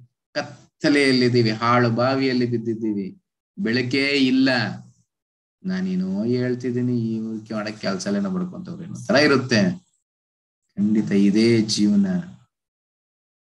ಇದೇ ಜೀವನ. Okay do you see the rope why do you think rope is necessary what happens if it gets cut ಇವಾಗ ಇನ್ನೂ ಮುಖ್ಯವಾದದ್ದು. ಸಮೋಹಂ ಸರ್ವಭೂತೇಶು ನ ದ್ವೇಷ್ವಸ್ತಿನ ಪ್ರಿಯ. ಏ ಭಜಂತಿ ತು ಮಾಂ ಭಕ್ತ್ಯ ಮೈ ತೇತೇಶು ಚಾಪ್ಯಹಂ. ಭಗವಂತನು ಸಮೋಹಂ ಸರ್ವಭೂತೇಶು ಎಲ್ಲರಿಗೂ ಸಮಾನವಾಗಿದ್ದಾನೆ. ನಾ ದ್ವೇಷೋಸ್ತಿ ನಾ ಪ್ರಿಯ. ಯಾರು ನನಗೆ ದ್ವೇಷಿಗಳಿಲ್ಲ, ಯಾರು ನನ್ನ ಪ್ರಿಯಕರಲಿಲ್ಲ ಎಲ್ಲರೂ ಸಮಾನ. ಆದ್ರೆ, ಏ ಭಜಂತಿ ತು ಮಾಂ ಭಕ್ತಿಯ, ಯಾರು ನನ್ನ ಭಕ್ತನಾಗಿರ್ತಾನೆ ಮೈತೇ ತೇಷು ಚಾಪ್ಯಹಂ ವಿಶೇಷವಾದ ಅವಾಗ್ಲೇ ಹೇಳಿದ್ನಲ್ಲ ರಾಜನು ಎಲ್ಲರಿಗೂ ಸಮಾನವಾಗಿರ್ತಾನೆ, ಆದ್ರೆ ನನ್ನ ಮಗ ಅಂದ್ರೆ ವಾರಸುದಾರನಾಗಿರ್ತಾನೆ. ಕೃಷ್ಣನು ನಮ್ಮ ತಂದೆ ಅಂದಿದ ತಕ್ಷಣನೇ ನಾವೆಲ್ಲ ವಾರಸುದಾರರು. ಬರೀ ಒಂದು ಇವಾಗ ಇದು ನನ್ನ ಮನೆ, ನನ್ನ ಮೊಬೈಲ್ ನನ್ನ ಪೆಣ್ಣು ಅಂತಿದ್ದಾನಲ್ಲ ಇಲ್ಲ. ಈ ಭೌತಿಕ ಭೂಮಂಡಲ ನಂದು ಅನ್ನೋದಲ್ಲ, ವಿಶ್ವ ಅಲ್ಲ. ಸಮಸ್ತವ ಇರೋದಲ್ಲ ನಾನೇ ಒಡೆಯ. ಇದೇ ನನ್ನ ಫ್ರೀಡಮ್ ಸ್ವಾತಂತ್ರ್ಯ. ಕೃಷ್ಣನ ಮಗನಾದ್ರೆ ಈ ಒಂದು ಭೌತಿಕ ಲೋಕ, ಆಧ್ಯಾತ್ಮಿಕ ಲೋಕ ಎಲ್ಲವೂ ನಂದೇ. ವಾರಸುದಾರನಾಗ್ತೀನಿ. ಸೊ ಏನ್ ಹೇಳ್ತೀವಿ? ಇದು ರೈಟ್ ಇದು. ಆ ಒಂದು ರೈಟ್ ಅನ್ನೋದು ಬರುತ್ತೆ. ಆ ಒಂದು ವಾರಸುದಾರನಿಗೆ ಏನ್ ಬರುತ್ತೆ? ಆತ ಹಕ್ಕು ಅದು. ತಂದೆಯ ಆಸ್ತಿಯನ್ನ ಪಡೆಯುವ ಹಕ್ಕು ಮಗನಿಗಿದೆ. ಅದೇ ರೀತಿನೇ ಯಾವಾಗ ನಮ್ಮ ತಂದೆ ಕೃಷ್ಣನಾದ್ರೆ ಆತನ ಪ್ರತಿಯೊಂದಿಗೆ ವಾರಿಸಿದಾನು ನಾನೇ ಅದು ನನ್ನ ಹಕ್ಕಾಗುತ್ತೆ. ಭಕ್ತನಿಗೆ ಏನ್ ಸಿಗ್ತಾ ಇದೆ? ಸ್ವತಂತ್ರ ಸಿಗ್ತಾ ಇದೆ. ನಾವ್ ಹೆಂಗಿದೀವಿ ನಮ್ಮ ಜೀವನ? ಅದಕ್ಕೆ ಭೌತಿಕನ ಬಿಡಬೇಕು ಪ್ರಾರಂಭ. ಇಲ್ಲಿ ನೋಡ್ಬೋದು. ಆ ಒಂದು ಹುಡುಗಿ ಚಿಕ್ಕ ಬೊಂಬೆನ ಇಟ್ಕೊಂಡಿದ್ದಾರೆ ಬಟ್ ಐ ಲವ್ ದಿಸ್ ಬಿಟ್ಬಿಡು ಕೃಷ್ಣ ಹೇಳ್ತಾನೆ, ಇದನ್ನ ಬಿಟ್ಬಿಡು. ನಿಯಮಬದ್ಧವಾದ ಜೀವನವನ್ನು ಮಾಡು. ತಿಂದಿದ್ದೆಲ್ಲ, ಸಿಕ್ಕಿದ್ದೆಲ್ಲ ತಿನ್ಬೇಡ. ನಂಗೆ ನೈವೇದ್ಯ ಮಾಡಿದ್ ಮಾತ್ರ ತಿನ್ನು. ಜೀವನದಲ್ಲಿ ನನ್ನನ್ನು ಸ್ವೀಕರಿಸ್ಕೊ. ಏ, ನನಗಿದು ತುಂಬಾ ಪ್ರೀತಿ, ನಾನು ಬಿಡೋದಿಲ್ಲ. ಕೃಷ್ಣನ್ ನಮಗೋಸ್ಕರ ಹಿಂದ್ಗಡೆ ನೋಡಿ ಎಷ್ಟು ದೊಡ್ಡ ಬೊಂಬೆ ಇಟ್ಕೊಂಡಿದ್ದಾನೆ. ಜಸ್ಟ್ ಒಂದು ಮಗುವಿನ ಒಂದು ಉದಾಹರಣೆ. ಆ ಮಗು ಚಿಕ್ಕದು ಬಿಟ್ಟಾಗ ದೊಡ್ಡದು ಸಿಗುತ್ತೆ. ನಮ್ಮ ಕೈ ಖಾಲಿ ಇಲ್ಲ ಕೊಡ್ಬೇಕು ಅಂದ್ರೆ. ನಮ್ಮ ಹೃದಯ ಕಾಮ, ಕ್ರೋಧ, ಲೋಭ, ಮೋಹ, ಮದಮಾತ್ಸರಗಳಿಂದ ತುಂಬಿದೆ. ಜಾಗ ಇಲ್ಲ ಕೃಷ್ಣನಿಗೆ. ನನ್ನ ಕೈಯಲ್ಲಿರೋದನ್ನ ಬಿಟ್ಟಿದ ತಕ್ಷಣ ಕೃಷ್ಣ ದೊಡ್ಡದು ಕೊಡ್ತಾನೆ. ಇಲ್ಲ, ನಾನು ಇದನ್ನೇ ಇಟ್ಕೊಂಡಿರ್ತೀನಿ ಕೊಡೋದಕ್ಕೆ ಜಾಗ ಇಲ್ಲ. ಅರ್ಥ ಆಗ್ತಿದೆ ಯಾವಾಗ ನಿಯಮಬದ್ಧವಾದ ಜೀವನವನ್ನು ಪ್ರಾರಂಭ ಮಾಡ್ತೀವಿ, ದೊಡ್ಡದನ್ನ ಸಾಧಿಸ್ತೀನಿ. ಕೃಷ್ಣನನ್ನೇ ಪಡಿತೀನಿ. ಮುಂದಕ್ಕೆ ಹೋಗೋಣ. If even if the saintly temporary falls ನನ್ನ ಭಕ್ತನ ಏನಾದ್ರೂ ಪತನ ಆದ್ರೆ ಅಜಾಮಿಲ್ನ ಒಂದು ಕಥೆ ಗೊತ್ತಲ್ಲ? ನಿನ್ನೆನೆ ಹೇಳಿದೆ. ಅಪಿಚೇತ್ಸು ದುರಾಚಾರೋ ಭಜತೆ ಮಾಮನನ್ಯ ಬಾಕ್ಸ ಅದೂರೇವ ಸಮಂತವ್ಯ ಸಮ್ಯಾಗ್ ವಿವಸಿತು ಈಸ. ವಿಚೇತ್ಸು ದುರಾಚಾರ. ನನ್ನ ಭಕ್ತನಾಗಿದ್ದ ಹೆಂಗೋ ಪತನ. ಅದಕ್ಕೆ ಸು ದುರಾಚಾರ. ದುರಾಚಾರಿ ಅಲ್ಲ. ಸು ದುರಾಚಾರ. ಸು ಅಂದ್ರೆ ಒಳ್ಳೆಯವನಾಗಿದ್ದು ಪತನ. ಆಗ ಭಕ್ತನಾಗಿದ್ದು ಪತನ ಆಗೋದ್ರೆ ಆ ಒಂದು ಇದ್ರಲ್ಲಿ ನೋಡ್ಬೋದು. ಯಾರು ವಿಪ್ಲನಾರಾಯಣ. ಯಾವ ರೀತಿ ಆ ದೇವದೇವಿ ಬಂದು ಮರಳು ಮಾಡಿ ಆತನ ಇದು ಮಾಡ್ತು. ಯಾರು ಕೃಷ್ಣನೇ ನೇರವಾಗಿ ಬಂದು ರಕ್ಷಿಸ್ತಾನೆ. ನಮ್ಮ ಜೀವನದಲ್ಲಿ ಪತನ ಆದ್ರೂ ಸರಿ ಆತನೇ ಬರ್ತಾನೆ. ಅಜಾಮಿಲ್ನ ಕಥೆಯಲ್ಲಿ ನೋಡಿದ್ವಿ. ಅದನ್ನೇ ಇಲ್ಲಿ ಕೃಷ್ಣ ಹೇಳ್ತಿದ್ದಾನೆ, ನನ್ನ ಭಕ್ತನ, ಪತನ ಆದ್ರೂ ನಿನ್ನ ಕರ್ತವ್ಯ ಆತನ ಸಾಧುವಾಗೆ ಪರಿಗಣಿಸ್ಬೇಕು. ಯಾಕೆ? ನನ್ನ ಭಕ್ತನೊಟ್ಟಿಗೆ ನಾನಿದ್ದೀನಿ, ಆತನ ರಕ್ಷಣೆ ಮಾಡೋದಕ್ಕೆ. ಆತನು ತುಂಬಾ ಬೇಗ ಧರ್ಮಾತ್ಮನಾಗ್ತಾನೆ, ಭಕ್ತನಾಗ್ತಾನೆ. ಯಾಕೆ? ಅಜಾಮಿಲ್ನಂತವನೇ ನಾನು, ನನ್ನ ಧಾಮಕ್ಕೆ ಕರ್ಸ್ಕೊಂತೀನಿ. ಎಷ್ಟು ಪತನ ಆದ್ರೂ ಸರಿ ವೇಷ ಸಾಂಗತ್ಯದಲ್ಲಿ ಹೋದ್ರು ಸರಿ, ಇಲ್ಲ ದುಡ್ಡುಗೋಸ್ಕರ, ಖ್ಯಾತಿಗೋಸ್ಕರ ಹೆಂಗ್ ಬಿದ್ದೋದ್ರು ಸರಿ ನಾನ್ ರಕ್ಷಿಸ್ಕೊಳ್ತೀನಿ ನನ್ನ ಭಕ್ತನ್ನ. ಪ್ರಪಂಚಕ್ಕೆ ಒಂದು ಸೂಚನೆ ಕೊಡ್ತಿದ್ದೇನೆ, ನನ್ನ ಭಕ್ತನನ್ನ ಎಲ್ಲರೂ ಸಾಧುಗಳಾಗಿ ಪರಿಗಣಿಸ್ಬೇಕು. Next how can you be consider ಸಾಧು? ಈಗ ನೋಡ್ಬೋದು. ಯಾಕೆ ಸಾಧುನೇ ಪರಿಗಣಿಸ್ಬೇಕು ಅದನ್ನ? ಯಾಕಂದ್ರೆ ಕ್ಷಿಪ್ರಂ ಭವತಿ ಧರ್ಮಾತ್ಮ ಶಾಶ್ವತ್ ಶಾಂತಿಂ ನಿಗಚ್ಚತಿ ಕೌಂತೇಯ ಪ್ರತಿಜಾನಿ ನಮೇ ಭಕ್ತ ಪ್ರಣಶ್ಯತಿ. ಕ್ಷಿಪ್ರಂ ಭವತಿ ಧರ್ಮಾತ್ಮ. ಅತಿ ವೇಗವಾಗಿ ಆತ ಧರ್ಮಾತ್ಮನಾಗ್ತಾನೆ. ಆತನ ಪತನ ಆದ್ರೂ ಸರಿ. ಯಾಕೆ? ನಾನ್ ಬಿಡೋದಿಲ್ಲ ನನ್ನ ಭಕ್ತನ ಶಾಶ್ವತ್ ಶಾಂತಿಂ ನಿಗಚ್ಚತಿ ತುಂಬಾ ಬೇಗ ಬರ್ತಾನೆ. ಅರ್ಜುನ ಕೌಂತೇಯ ಪ್ರತಿಜಾನಿ, ನಮೇ ಭಕ್ತ ಪ್ರಣಶ್ಯತಿ. ನೀನ್ ಹೇಳು ಪ್ರಪಂಚಕ್ಕೆ. ನನ್ನ ಭಕ್ತನು ನಶಿಸೋದಿಲ್ಲ ಅನ್ನೋದನ್ನ ನೀನ್ ಹೇಳು, ಘೋಷಣೆ ಮಾಡು. ಎಲ್ಲವೂ ಕೃಷ್ಣ ಹೇಳ್ಬಿಟ್ಟು ಈ ಒಂದು ಅಂಶವನ್ನು ಮಾತ್ರ ಅರ್ಜುನ್ಗೆ ಹೇಳ್ತೇನೆ, ನೀನ್ ಘೋಷಣೆ ಮಾಡು ಅಂತ. ಯಾಕೆ? ಕೆಲವೊಮ್ಮೆ ಕೃಷ್ಣನು ಒಬ್ಬ ಮಾತ್ ತಪ್ಪಿಬಿಡ್ತಾನೆ ಇದಕ್ಕೊಂದು ಚಿಕ್ಕ ಕಥೆ ಇದೆ. ಒಂದು ಬಾರಿ ಏನಾಗುತ್ತೆ ಅಂದ್ರೆ ಇವತ್ತು ಯುದ್ಧ ನಡೀತಾ ಇದೆಯಲ್ಲ, ಯುದ್ಧ ನಡೆಯುವಾಗ ಹತ್ತು ದಿನ ಆಗೋಗುತ್ತೆ. ಹತ್ತು ದಿನ ಆದ್ರೂ ಏನು ಪರಿಣಾಮ ಆಗಲ್ಲ. ಭೀಷ್ಮ ಏನ್ ಸಾಮಾನ್ಯದವನಲ್ಲ. ಎಂಥ ಮಹಾಪರಾಕ್ರಮಿ ಗೊತ್ತಾ ಆತ? ಸೊ ದುರ್ಯೋಧನ ತುಂಬಾ ಕೋಪ ಬರುತ್ತೆ. ಮೊದಲನೇ ಅಧ್ಯಾಯ ಯಾರೆಲ್ಲ? ಇದ್ರೆ ಅವ್ರಿಗೆಲ್ಲ ಗೊತ್ತಾಗುತ್ತೆ ದುರ್ಯೋಧನ ಮನಸ್ಥಿತಿ. ಆತ ಬಂದು ಚುಚ್ಚು ಮಾತುಗಳನ್ನ ಆಡ್ತಾ ಇದ್ದಾನೆ. ಭೀಷ್ಮನಿಗೆ, ನೀನ್ ಎಂತ ಪರಾಕ್ರಮಿ? ಹಿಂಗೆ, ಹಂಗೆ ಅಂತೆಲ್ಲ ಹೇಳ್ಕೊಂತ ಇದ್ದೀವಿ. ನೀನು ಇಷ್ಟು ಶ್ರೇಷ್ಠನು. ಹಿಂಗೆಲ್ಲ ನಿನಗೆ. ಶಕ್ತಿ ಇದೆ ನೀನ್ ಪಕ್ಷಪಾತ ತೋರಿಸ್ತಾ ಇದೆ ಪಾಂಡವನ ನೀನು ಮಾಡ್ತಾ ಇಲ್ಲ. ಹತ್ತು ದಿನ ಆಗೋಯ್ತು. ಏನು ಪರಿಣಾಮ ಬರ್ತಾ ಇಲ್ವಲ್ಲ? ನೀನೇನು ಮಾಡ್ತಾ ಇಲ್ವಲ್ಲ? ಆ ಒಂದು ಚುಚ್ಚು ಮಾತುಗಳಿಂದ ಭೀಷ್ಮ ಏನ್ ಮಾಡ್ತಾನೆ? ಸರಿ ಅಂತ ಒಂದು ಐದು ಬಾಣಗಳನ್ನ ತಗೊಳ್ತಾನೆ ಬಂಗಾರದ ಬಾಣಗಳನ್ನ ಮಂತ್ರಿಸ್ತಾನೆ. ಮಂತ್ರಿಸ್ ಹೇಳಿ ನಾನು ಇಡೀ ಯಾವ ಶಕ್ತಿನ ಈ ಒಂದು ಬಾಣಗಳಲ್ಲಿ ತುಂಬಿಸಿದ್ದೀನಿ. ನಾಳೆ ಬಂದು ಐದು ಪಾಂಡವನ್ನ ನಾನು ಮಾಡ್ತೀನಿ. ಕೊನೆ ಯುದ್ಧ. ದುರ್ಯೋಧನಿಗೆ ಆನಂದನೇ ಆನಂದ. ಯಾಕೆ? ಭೀಷ್ಮ ಭೀಷ್ಮ ಪ್ರತಿಜ್ಞೆ ಸುಮ್ನೆ ಅಲ್ಲ. ಪ್ರತಿಜ್ಞೆ ಮಾಡಿದ್ರೆ ಯಾವತ್ತು ಮುರಿದೇ ಇರುವಂತದ್ದು. ಭೀಷ್ಮನು ಪ್ರತಿಜ್ಞೆ ಮಾಡಿದ್ರೆ ಮುಗ್ದೋಯ್ತು. ಸಂಶಯ. ಅರೆ ಐದು ಬಾಣಗಳಲ್ಲೆಲ್ಲ ಶಕ್ತಿನ ಇಟ್ಟಿದ್ದಾನೆ. ಯಾರಾದ್ರೂ ಬಂದು ತಗೊಂಡೋಗ್ಬಿಟ್ರೆ, ಆ, ಭೀಷ್ಮನಿಗೆ ಹೇಳ್ತಾನೆ, ನನಗೆ ಈ ಬಾಣಗಳು ಕೊಟ್ಬಿಡು. ದುರ್ಯೋಧನ, ಬೇಡ, ನಾನು ಇಟ್ಕೊಂತೀನಿ. ಮೊದ್ಲೇ ಹೇಳಿದ್ದ ಭೀಷ್ಮ, ನೋಡ ಮೂರ್ಖ, ಆ ಕಡೆ ಕೃಷ್ಣನಿದ್ದಾನೋ ಯಾರು ಏನು ಮಾಡಕ್ ಆಗಲ್ವೋ ಅಂತ. ಈತ ಕೇಳಲಿಲ್ಲ.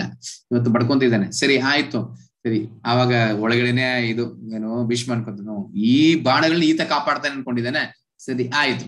ನೀನೆ ಇಟ್ಕೊಂತ ಕೊಡ್ತಾನೆ. ಐದು ಬಾಣಗಳು ನಾನು ನಾಳೆ ಕೊಡ್ತೀನಿ. ಯಾರ್ಯಾರು ಹೆಂಗ್ ಹೆಂಗ್ ಕೊಲ್ಲೋದಕ್ಕೆ ಅಂತ ಕೊಡ್ತೀನಿ ಅಂದ್ಬಿಟ್ಟು ತಗೊಂಡೋಗ್ಬಿಡ್ತಾನೆ.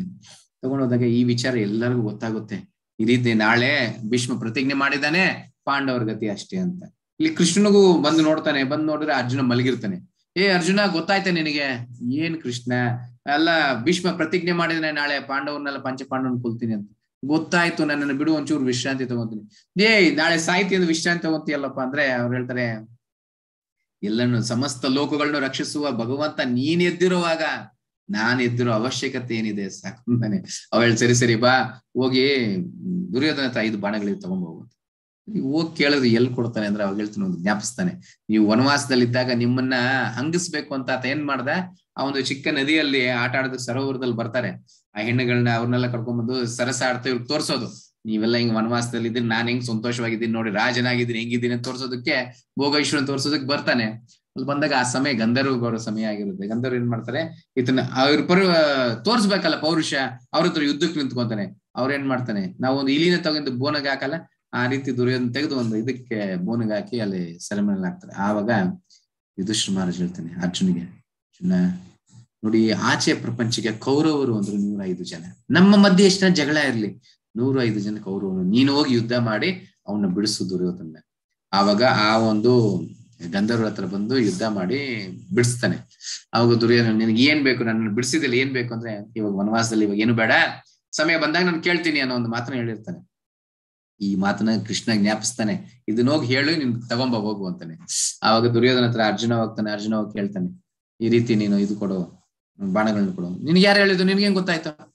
ಕೃಷ್ಣ ಹೇಳಿ ಕಳಿಸ್ತು. ನೋಡು ಅರ್ಜುನ, ನೀನು ಎಷ್ಟೇ ಅಣ್ಣ ತಮ್ಮಂದ್ರ ಆಗೋದು ಸರಿ, ಯುದ್ಧದಲ್ಲಿ ಯಾರು ಇದು ಮಾಡೋಂಗಿಲ್ಲ, ಇದನ್ನೆಲ್ಲ ಕೊಡಕ್ ಆಗಲ್ಲ ಅಂತಾನೆ.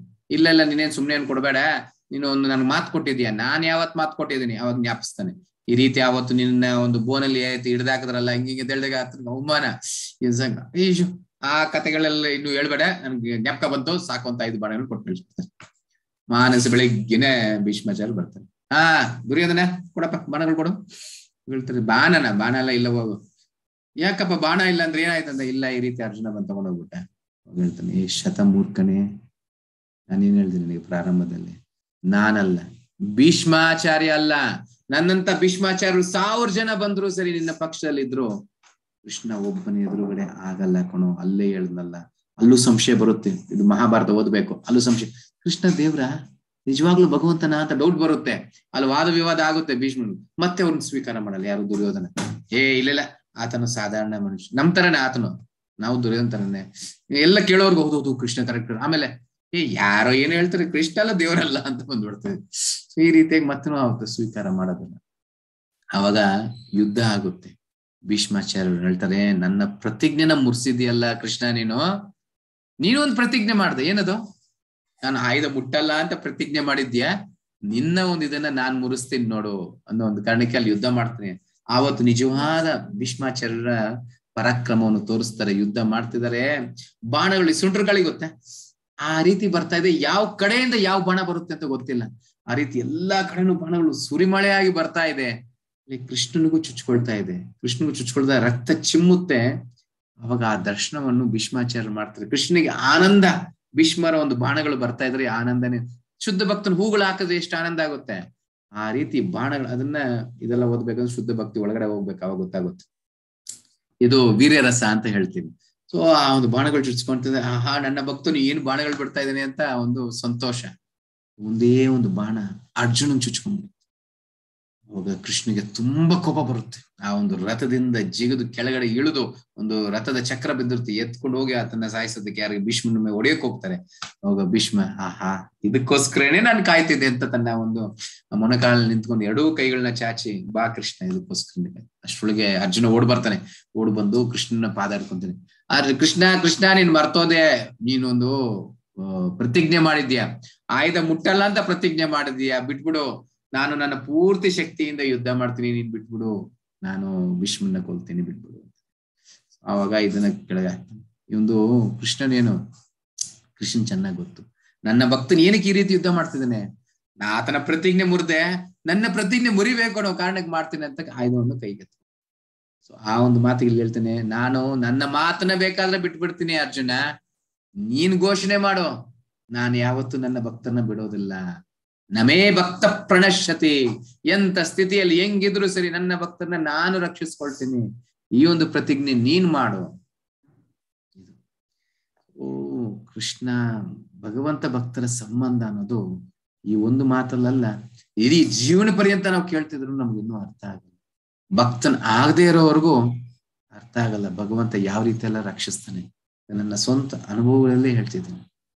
ನೀವು ಒಂಚೂರು ಭಕ್ತರಾಗಿ ಆ ಒಂದು ಪರಸ್ಪರ ಸಂಬಂಧ, ಭಗವಂತನ ಯಾವ ರೀತಿ ಸ್ಪಂದಿಸ್ತಾನೆ, ಪ್ರಕೃತಿ ಯಾವ ರೀತಿ ಸ್ಪಂದಿಸುತ್ತೆ? ಎಲ್ಲ ಹೋಗ್ತದೆ ಮೋಡ ಎಲ್ಲ ಮುಚ್ಕೊಂಡಿರುತ್ತೆ, ಅಯ್ಯೋ, ಮಳೆ ಬರುತ್ತೆ ಅಂತ ಹೋದಾಗ ನಾನು ಹೋಗ್ತಾ ಇದ್ದೀನಿ ಒಂದು ಕಾರಣಕ್ಕೆ ಮಳೆ ನಿಂತು ಹೋಗುತ್ತೆ ಬಿಡೀ ಬಿಸಿಲಿರುತ್ತೆ, ಈ ಬಿಸಿಲಿದೆಯಲ್ಲ ಅಂದಾಗ ಅಲ್ಲಿ ಮೋಡ ಮುಚ್ಕೊಳ್ಳುತ್ತೆ. ಇಲ್ಲ ಪ್ರತ್ಯೇಕವಾಗಿ ಅದನ್ನ ಅನುಭವಿಸ್ಬೇಕು, ಆವಾಗ್ಲೇ ಗೊತ್ತಾಗುತ್ತೆ. ಮೊನ್ನೆ ಹೇಳ್ದೆ ಅನ್ಸುತ್ತೆ, ಬೇರೆ ಇದ್ರಲ್ಲಿ ಹೇಳಿದ್ದೆ, ಅಲ್ಲಿ ನಾವು ಮಾಯಾಪುರಕ್ಕೆ ಹೋದಾಗ ಇಡೀ ಬಿಸಿಲಿತ್ತು, ಸುಡ್ತಾ ಇತ್ತು, ನಲವತ್ತೈದು ಡಿಗ್ರಿನೋ, ಐವತ್ತು ಡಿಗ್ರಿ ಇತ್ತು. ಅಲ್ಲಿ ಗುರು ಮಹಾರಾಜರು ಪ್ರಾರ್ಥನೆ ಮಾಡ್ಕೊಂಡು ನಮಗೆಲ್ಲ ಸಂದೇಶ ಬಂತು. ಗುರುಮಹಾರಾಜ್ ನಿಮಗೋಸ್ಕರ ಪ್ರಾರ್ಥನೆ ಮಾಡಿದ್ದಾರೆ. ನಾವು ಬೆಂಗಳೂರಿಂದ ಹೋಗ್ತಾ ಇರುವಾಗ ಒಂದು ಇನ್ನೂರು ಜನ ಹೋಗ್ತಾ ಇದ್ವಿ. ಗುರುಮಹಾರಾಜ್ ನೋಡೋದಕ್ಕೆ ಅವ್ರ ವ್ಯಾಸ ಪೂಜೆಗೆ ಬಿಸಿಲುಗಳನ್ನ ನಾವು ಪ್ರಾರ್ಥನೆ ಮಾಡಿದ್ರೆ ನನ್ನ ಭಕ್ತರು ಬೆಂಗಳೂರಿಂದ ಬರ್ತಾರೆ. ಅವರೆಲ್ಲ ಒಂದು ತಂಪಾದ ಪ್ರದೇಶದಲ್ಲಿರೋರು. ದಯವಿಟ್ಟು ಭಗವಂತ ಇಲ್ಲಿನ ಬಿಸಿನ ಅವ್ರು ತಟ್ಕೊಳಕ್ ಆಗಲ್ಲ ಒಂಚೂರು ಕಮ್ಮಿ ಮಾಡು ಅಂತ ಬೇಡ್ಕೊಂಡ್ರು. ರಾಧಾ ಮಾಧವನ ಬೇಡ್ಕೊಂಡಿದ್ದಾರೆ ಅಂತ ಒಂದು ಮೆಸೇಜ್ ಬರುತ್ತೆ. ನಿಜವಾಗ್ಲು ಸುಡ್ತಾ ಇತ್ತು. ಟ್ರೈನ್ ಅಲ್ಲಿ ಹೋಗ್ತಾ ಇದ್ರೆ ಗಾಳಿ ಹೆಂಗ್ ಬರ್ತಾ ಇದೆ ಅಂದ್ರೆ ಇವು ಓನ್ ಒಳಗಡೆ ಕುಂತಿದ್ರೆ ಹಿಂಗ್ ಬರ್ತಾ, ಹಂಗ್ ಬರ್ತಾ ಇತ್ತು. ಆ ಒಂದು ಏರ್ ಇದ್ರಲ್ಲಿ ರೈಲ್ವೆ ಸ್ಟೇಷನ್ ಇಳಿದು ನಮ್ಮ ಕಾಲ್ ಕೆಳಗಡೆ ಇಟ್ಟಿವಿ. ಆ ಮೋಡಗಳು ಎಲ್ಲಿತ್ತು ಅಂತ ಗೊತ್ತಿಲ್ಲ. ಹಂಗೇ ಬಂದು ಸುತ್ಕೊಂಡ್ಬಿಡ್ತು. ಬೆಂಗಳೂರಿಗಿಂತ ತಂಪಾದ ಒಂದು ಇದು. ಊಟಿ ಹೆಂಗಿದೆ? ಆ ರೀತಿ ಇತ್ತು. ನಾವಲ್ಲಿ ಹೆಚ್ಚು ಕಡಿಮೆ ನಾಲ್ಕು ದಿನ ಇದೀವಿ ನಾಲ್ಕು ದಿನ ಅದೇ ಕ್ಲೈಮೇಟ್ ಇತ್ತು. ಇದೆಲ್ಲ ನೀವು ಅನುಭವಿಸ್ಬೇಕು. ಆವಾಗ್ಲೇ ಗೊತ್ತಾಗೋದು. ಚಿಕ್ಕ ಚಿಕ್ಕ ವಿಚಾರಗಳು ಮನೆಯಲ್ಲಿ. ಈ ರೀತಿ ಭಗವಂತನ ಸೆಂಟ್ರಲ್ ಇಟ್ಟು ನಾವು ನೈವೇದ್ಯ ಮಾಡ್ತಾ, ನಮ್ಮ ಜೀವನ ಮಾಡ್ತಾ ಇರ್ರಿ, ಎಷ್ಟು ಪ್ರಕಟ ಆಗುತ್ತೆ ನೋಡಿ. ಏನೋ ಅನ್ಕೊಂಡು ಹೋಗ್ತೀವಿ ಸ್ಪಂದಿಸ್ತವ್ರು ಬೇರೆ ಬರ್ತಾರೆ. ಯಾರನ್ನೋ ತಿಳ್ಕೊಂಡು ಹೋಗ್ಬೇಕಲ್ಲ ಕಾಲ್ ನೋವು ಅಂದ ತಕ್ಷಣ ಅವ್ರ ಮನೆಗೆ ಬಂದ್ಬಿಡ್ತಾರೆ. ಇಲ್ಲ, ಈಗ ನೋಡ್ಕೊಂಡು ಹೋಗೋಣ ಅಂತ ಬಂದಮ್ಮ ಅಂತಾರೆ. ಯಾವ ಯಾವ ರೀತಿ ಭಗವಂತ ಸ್ಪಂದಿಸ್ತಾನೆ, ದಿನ ದಿನಕ್ಕೆ, ಕ್ಷಣ ಕ್ಷಣಕ್ಕೆ ಸ್ಪಂದಿಸ್ತಾ ಇರ್ತಾನೆ. ಆಸ್ವಾದಿಸ್ಬೇಕು. ಅಲ್ಲಿವರೆಗೂ ಗೊತ್ತೆ. ಭಕ್ತನ ಆಗದೆ ಇರೋವರೆಗೂ ಭಗವಂತನ ಒಂದು ಅನುಗ್ರಹ ಗೊತ್ತಾಗ ಆಗ್ಬೇಕು. ಗೊತ್ತಾಗ ಓಕೆ ಮುಂದಕ್ಕೆ ಹೋಗೋಣ ಎಸೆನ್ಸ್ ಆಲ್ ಎಸೆನ್ಸ್ ಮನ್ಮನ ಬಹುಮದ್ ಭಕ್ತ ಮಧ್ಯಾಜ ಮಾಂ ನಮಸ್ಕುರು ಮಾಂ ಏವೈಶಿಸಿ ಯುಕ್ತವೈವಂ ಆತ್ಮಾನ ಮತ್ಪರ್ಯಾನಃ ಕೊನೆಯ ಶ್ಲೋಕದಲ್ಲಿ ಕೃಷ್ಣ ಹೇಳ್ತಾನೆ ನನ್ನ ಭಕ್ತನಾಗೋದು ಯಾವ ರೀತಿ ಮನ್ಮನ ಬಹುಮದ್ ಭಕ್ತ ಸದಾ ನನ್ನನ್ನು ಚಿಂತಿಸುವುದರಲ್ಲಿ ಮನಸ್ಸನ್ನು ತೊಡಗಿಸು ನನ್ನ ಭಕ್ತನಾಗು ನನಗೆ ನಮಸ್ಕಾರ ಮಾಡು ಮತ್ತು ನನ್ನನ್ನು ಪೂಜಿಸು ಆಗ ನನ್ನಲ್ಲಿ ಸಂಪೂರ್ಣವಾಗಿ ಮಗ್ನನಾಗಿ ನಿಶ್ ನಿಶ್ಚಯವಾಗಿಯೂ ನೀನು ನನ್ನಲ್ಲಿ ಸಂಶಯನೇ ಬೇಡ. ನೀನ್ ನನ್ನ ಭಕ್ತನಾಗು ಸಹ ನಾನ್ ಮಿಕ್ಕಿದೆಲ್ಲ ನೋಡ್ಕೊಂತೀನಿ. ನಿನ್ನ ಭೌತಿಕ, ನಿನ್ನ ಆಧ್ಯಾತ್ಮಿಕ, ನಿನ್ನ ಕಷ್ಟ ಸುಖಗಳು, ನಿನ್ನ ಇದು, ನಿನ್ನ ಹೆಂಡತಿಯಾಗಿ, ನಿನ್ನ ಗಂಡನಾಗಿ, ನಿನ್ನ ತಂದೆ ತಾಯಿಯಾಗಿ ಎಲ್ಲರನ್ನೂ ಸುರಕ್ಷಿಸ್ತೀನಿ, ಎಲ್ಲರನ್ನೂ ಮಾಡ್ತೀನಿ. ನಿನ್ನ ಒಂದು ಶ್ರೇಯೋಬಲಾಶಿ ಆಗಿರ್ತೀನಿ ಹೃದಂ ಸರ್ವಭೂತಾನಾಂ. ನಮ್ಮ ಶ್ರೇಯೋಬಲಾಶಿ ಒಬ್ಬನೇ, ನನ್ನ ಸ್ನೇಹಿತನು ಒಬ್ಬನೇ ಕೃಷ್ಣ ಅರ್ಥ ಮಾಡಿಕೊಂಡು ಜೀವನ ಮಾಡಕ್ಕೆ okay So Manmana ma'am absorbing oneself in Krishna consciousness ಇದನ್ನೇ ಕೃಷ್ಣ ಪ್ರಜ್ಞಶೀಲ ಪ್ರಭುಪಾದರು ಮಾಡಿದಂತ ಸಂಸ್ಥೆ ಇದೆ ಇಡೀ ಪ್ರಪಂಚದಾದ್ಯಂತ ಒಂದೇ ಮನೆ ಒಂದೇ ತಂದೆ ಒಂದೇ ಭಗವಂತ ಸೊ ಒಂಬತ್ತನೇ ಅಧ್ಯಾಯದಲ್ಲಿ ಅತಿ ಮುಖ್ಯವಾದ ಅಧ್ಯಾಯ. ಒಂದೊಂದು ಶ್ಲೋಕನು ಒಂದೊಂದು ದಿನ ಅದ್ರ ಬಗ್ಗೆ ಚರ್ಚೆ ಮಾಡಬಹುದು ಅಷ್ಟು ಜ್ಞಾನ ಈ ಒಂದು ಅಧ್ಯಾಯದಲ್ಲಿ. ಓಕೆ ನಾಲೆಜ್ ಈ ಜ್ಞಾನ ಯಾವ ರೀತಿ ಪಡೆಯೋದು ಅಂತ ಗೊತ್ತಾಯ್ತು. ಮೊದಲು ಶ್ರದ್ಧೆ ಇರಬೇಕು.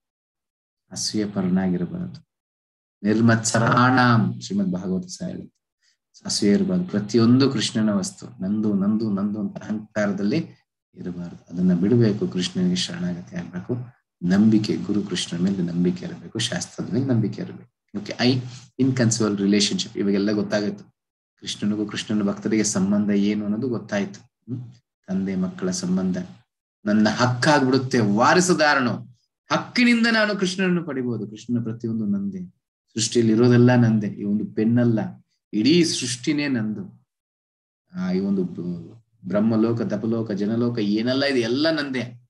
ಯಾಕೆ? ವೈಕುಂಠ ಲೋಕಗಳು ನಂದೆ. ಗೋಲೋಕ ವೃಂದಾವನನು ನಂದೆ. ಯಾವಾಗ? ಕೃಷ್ಣನ ಮಗನಾದ, ಭಕ್ತನಾದ.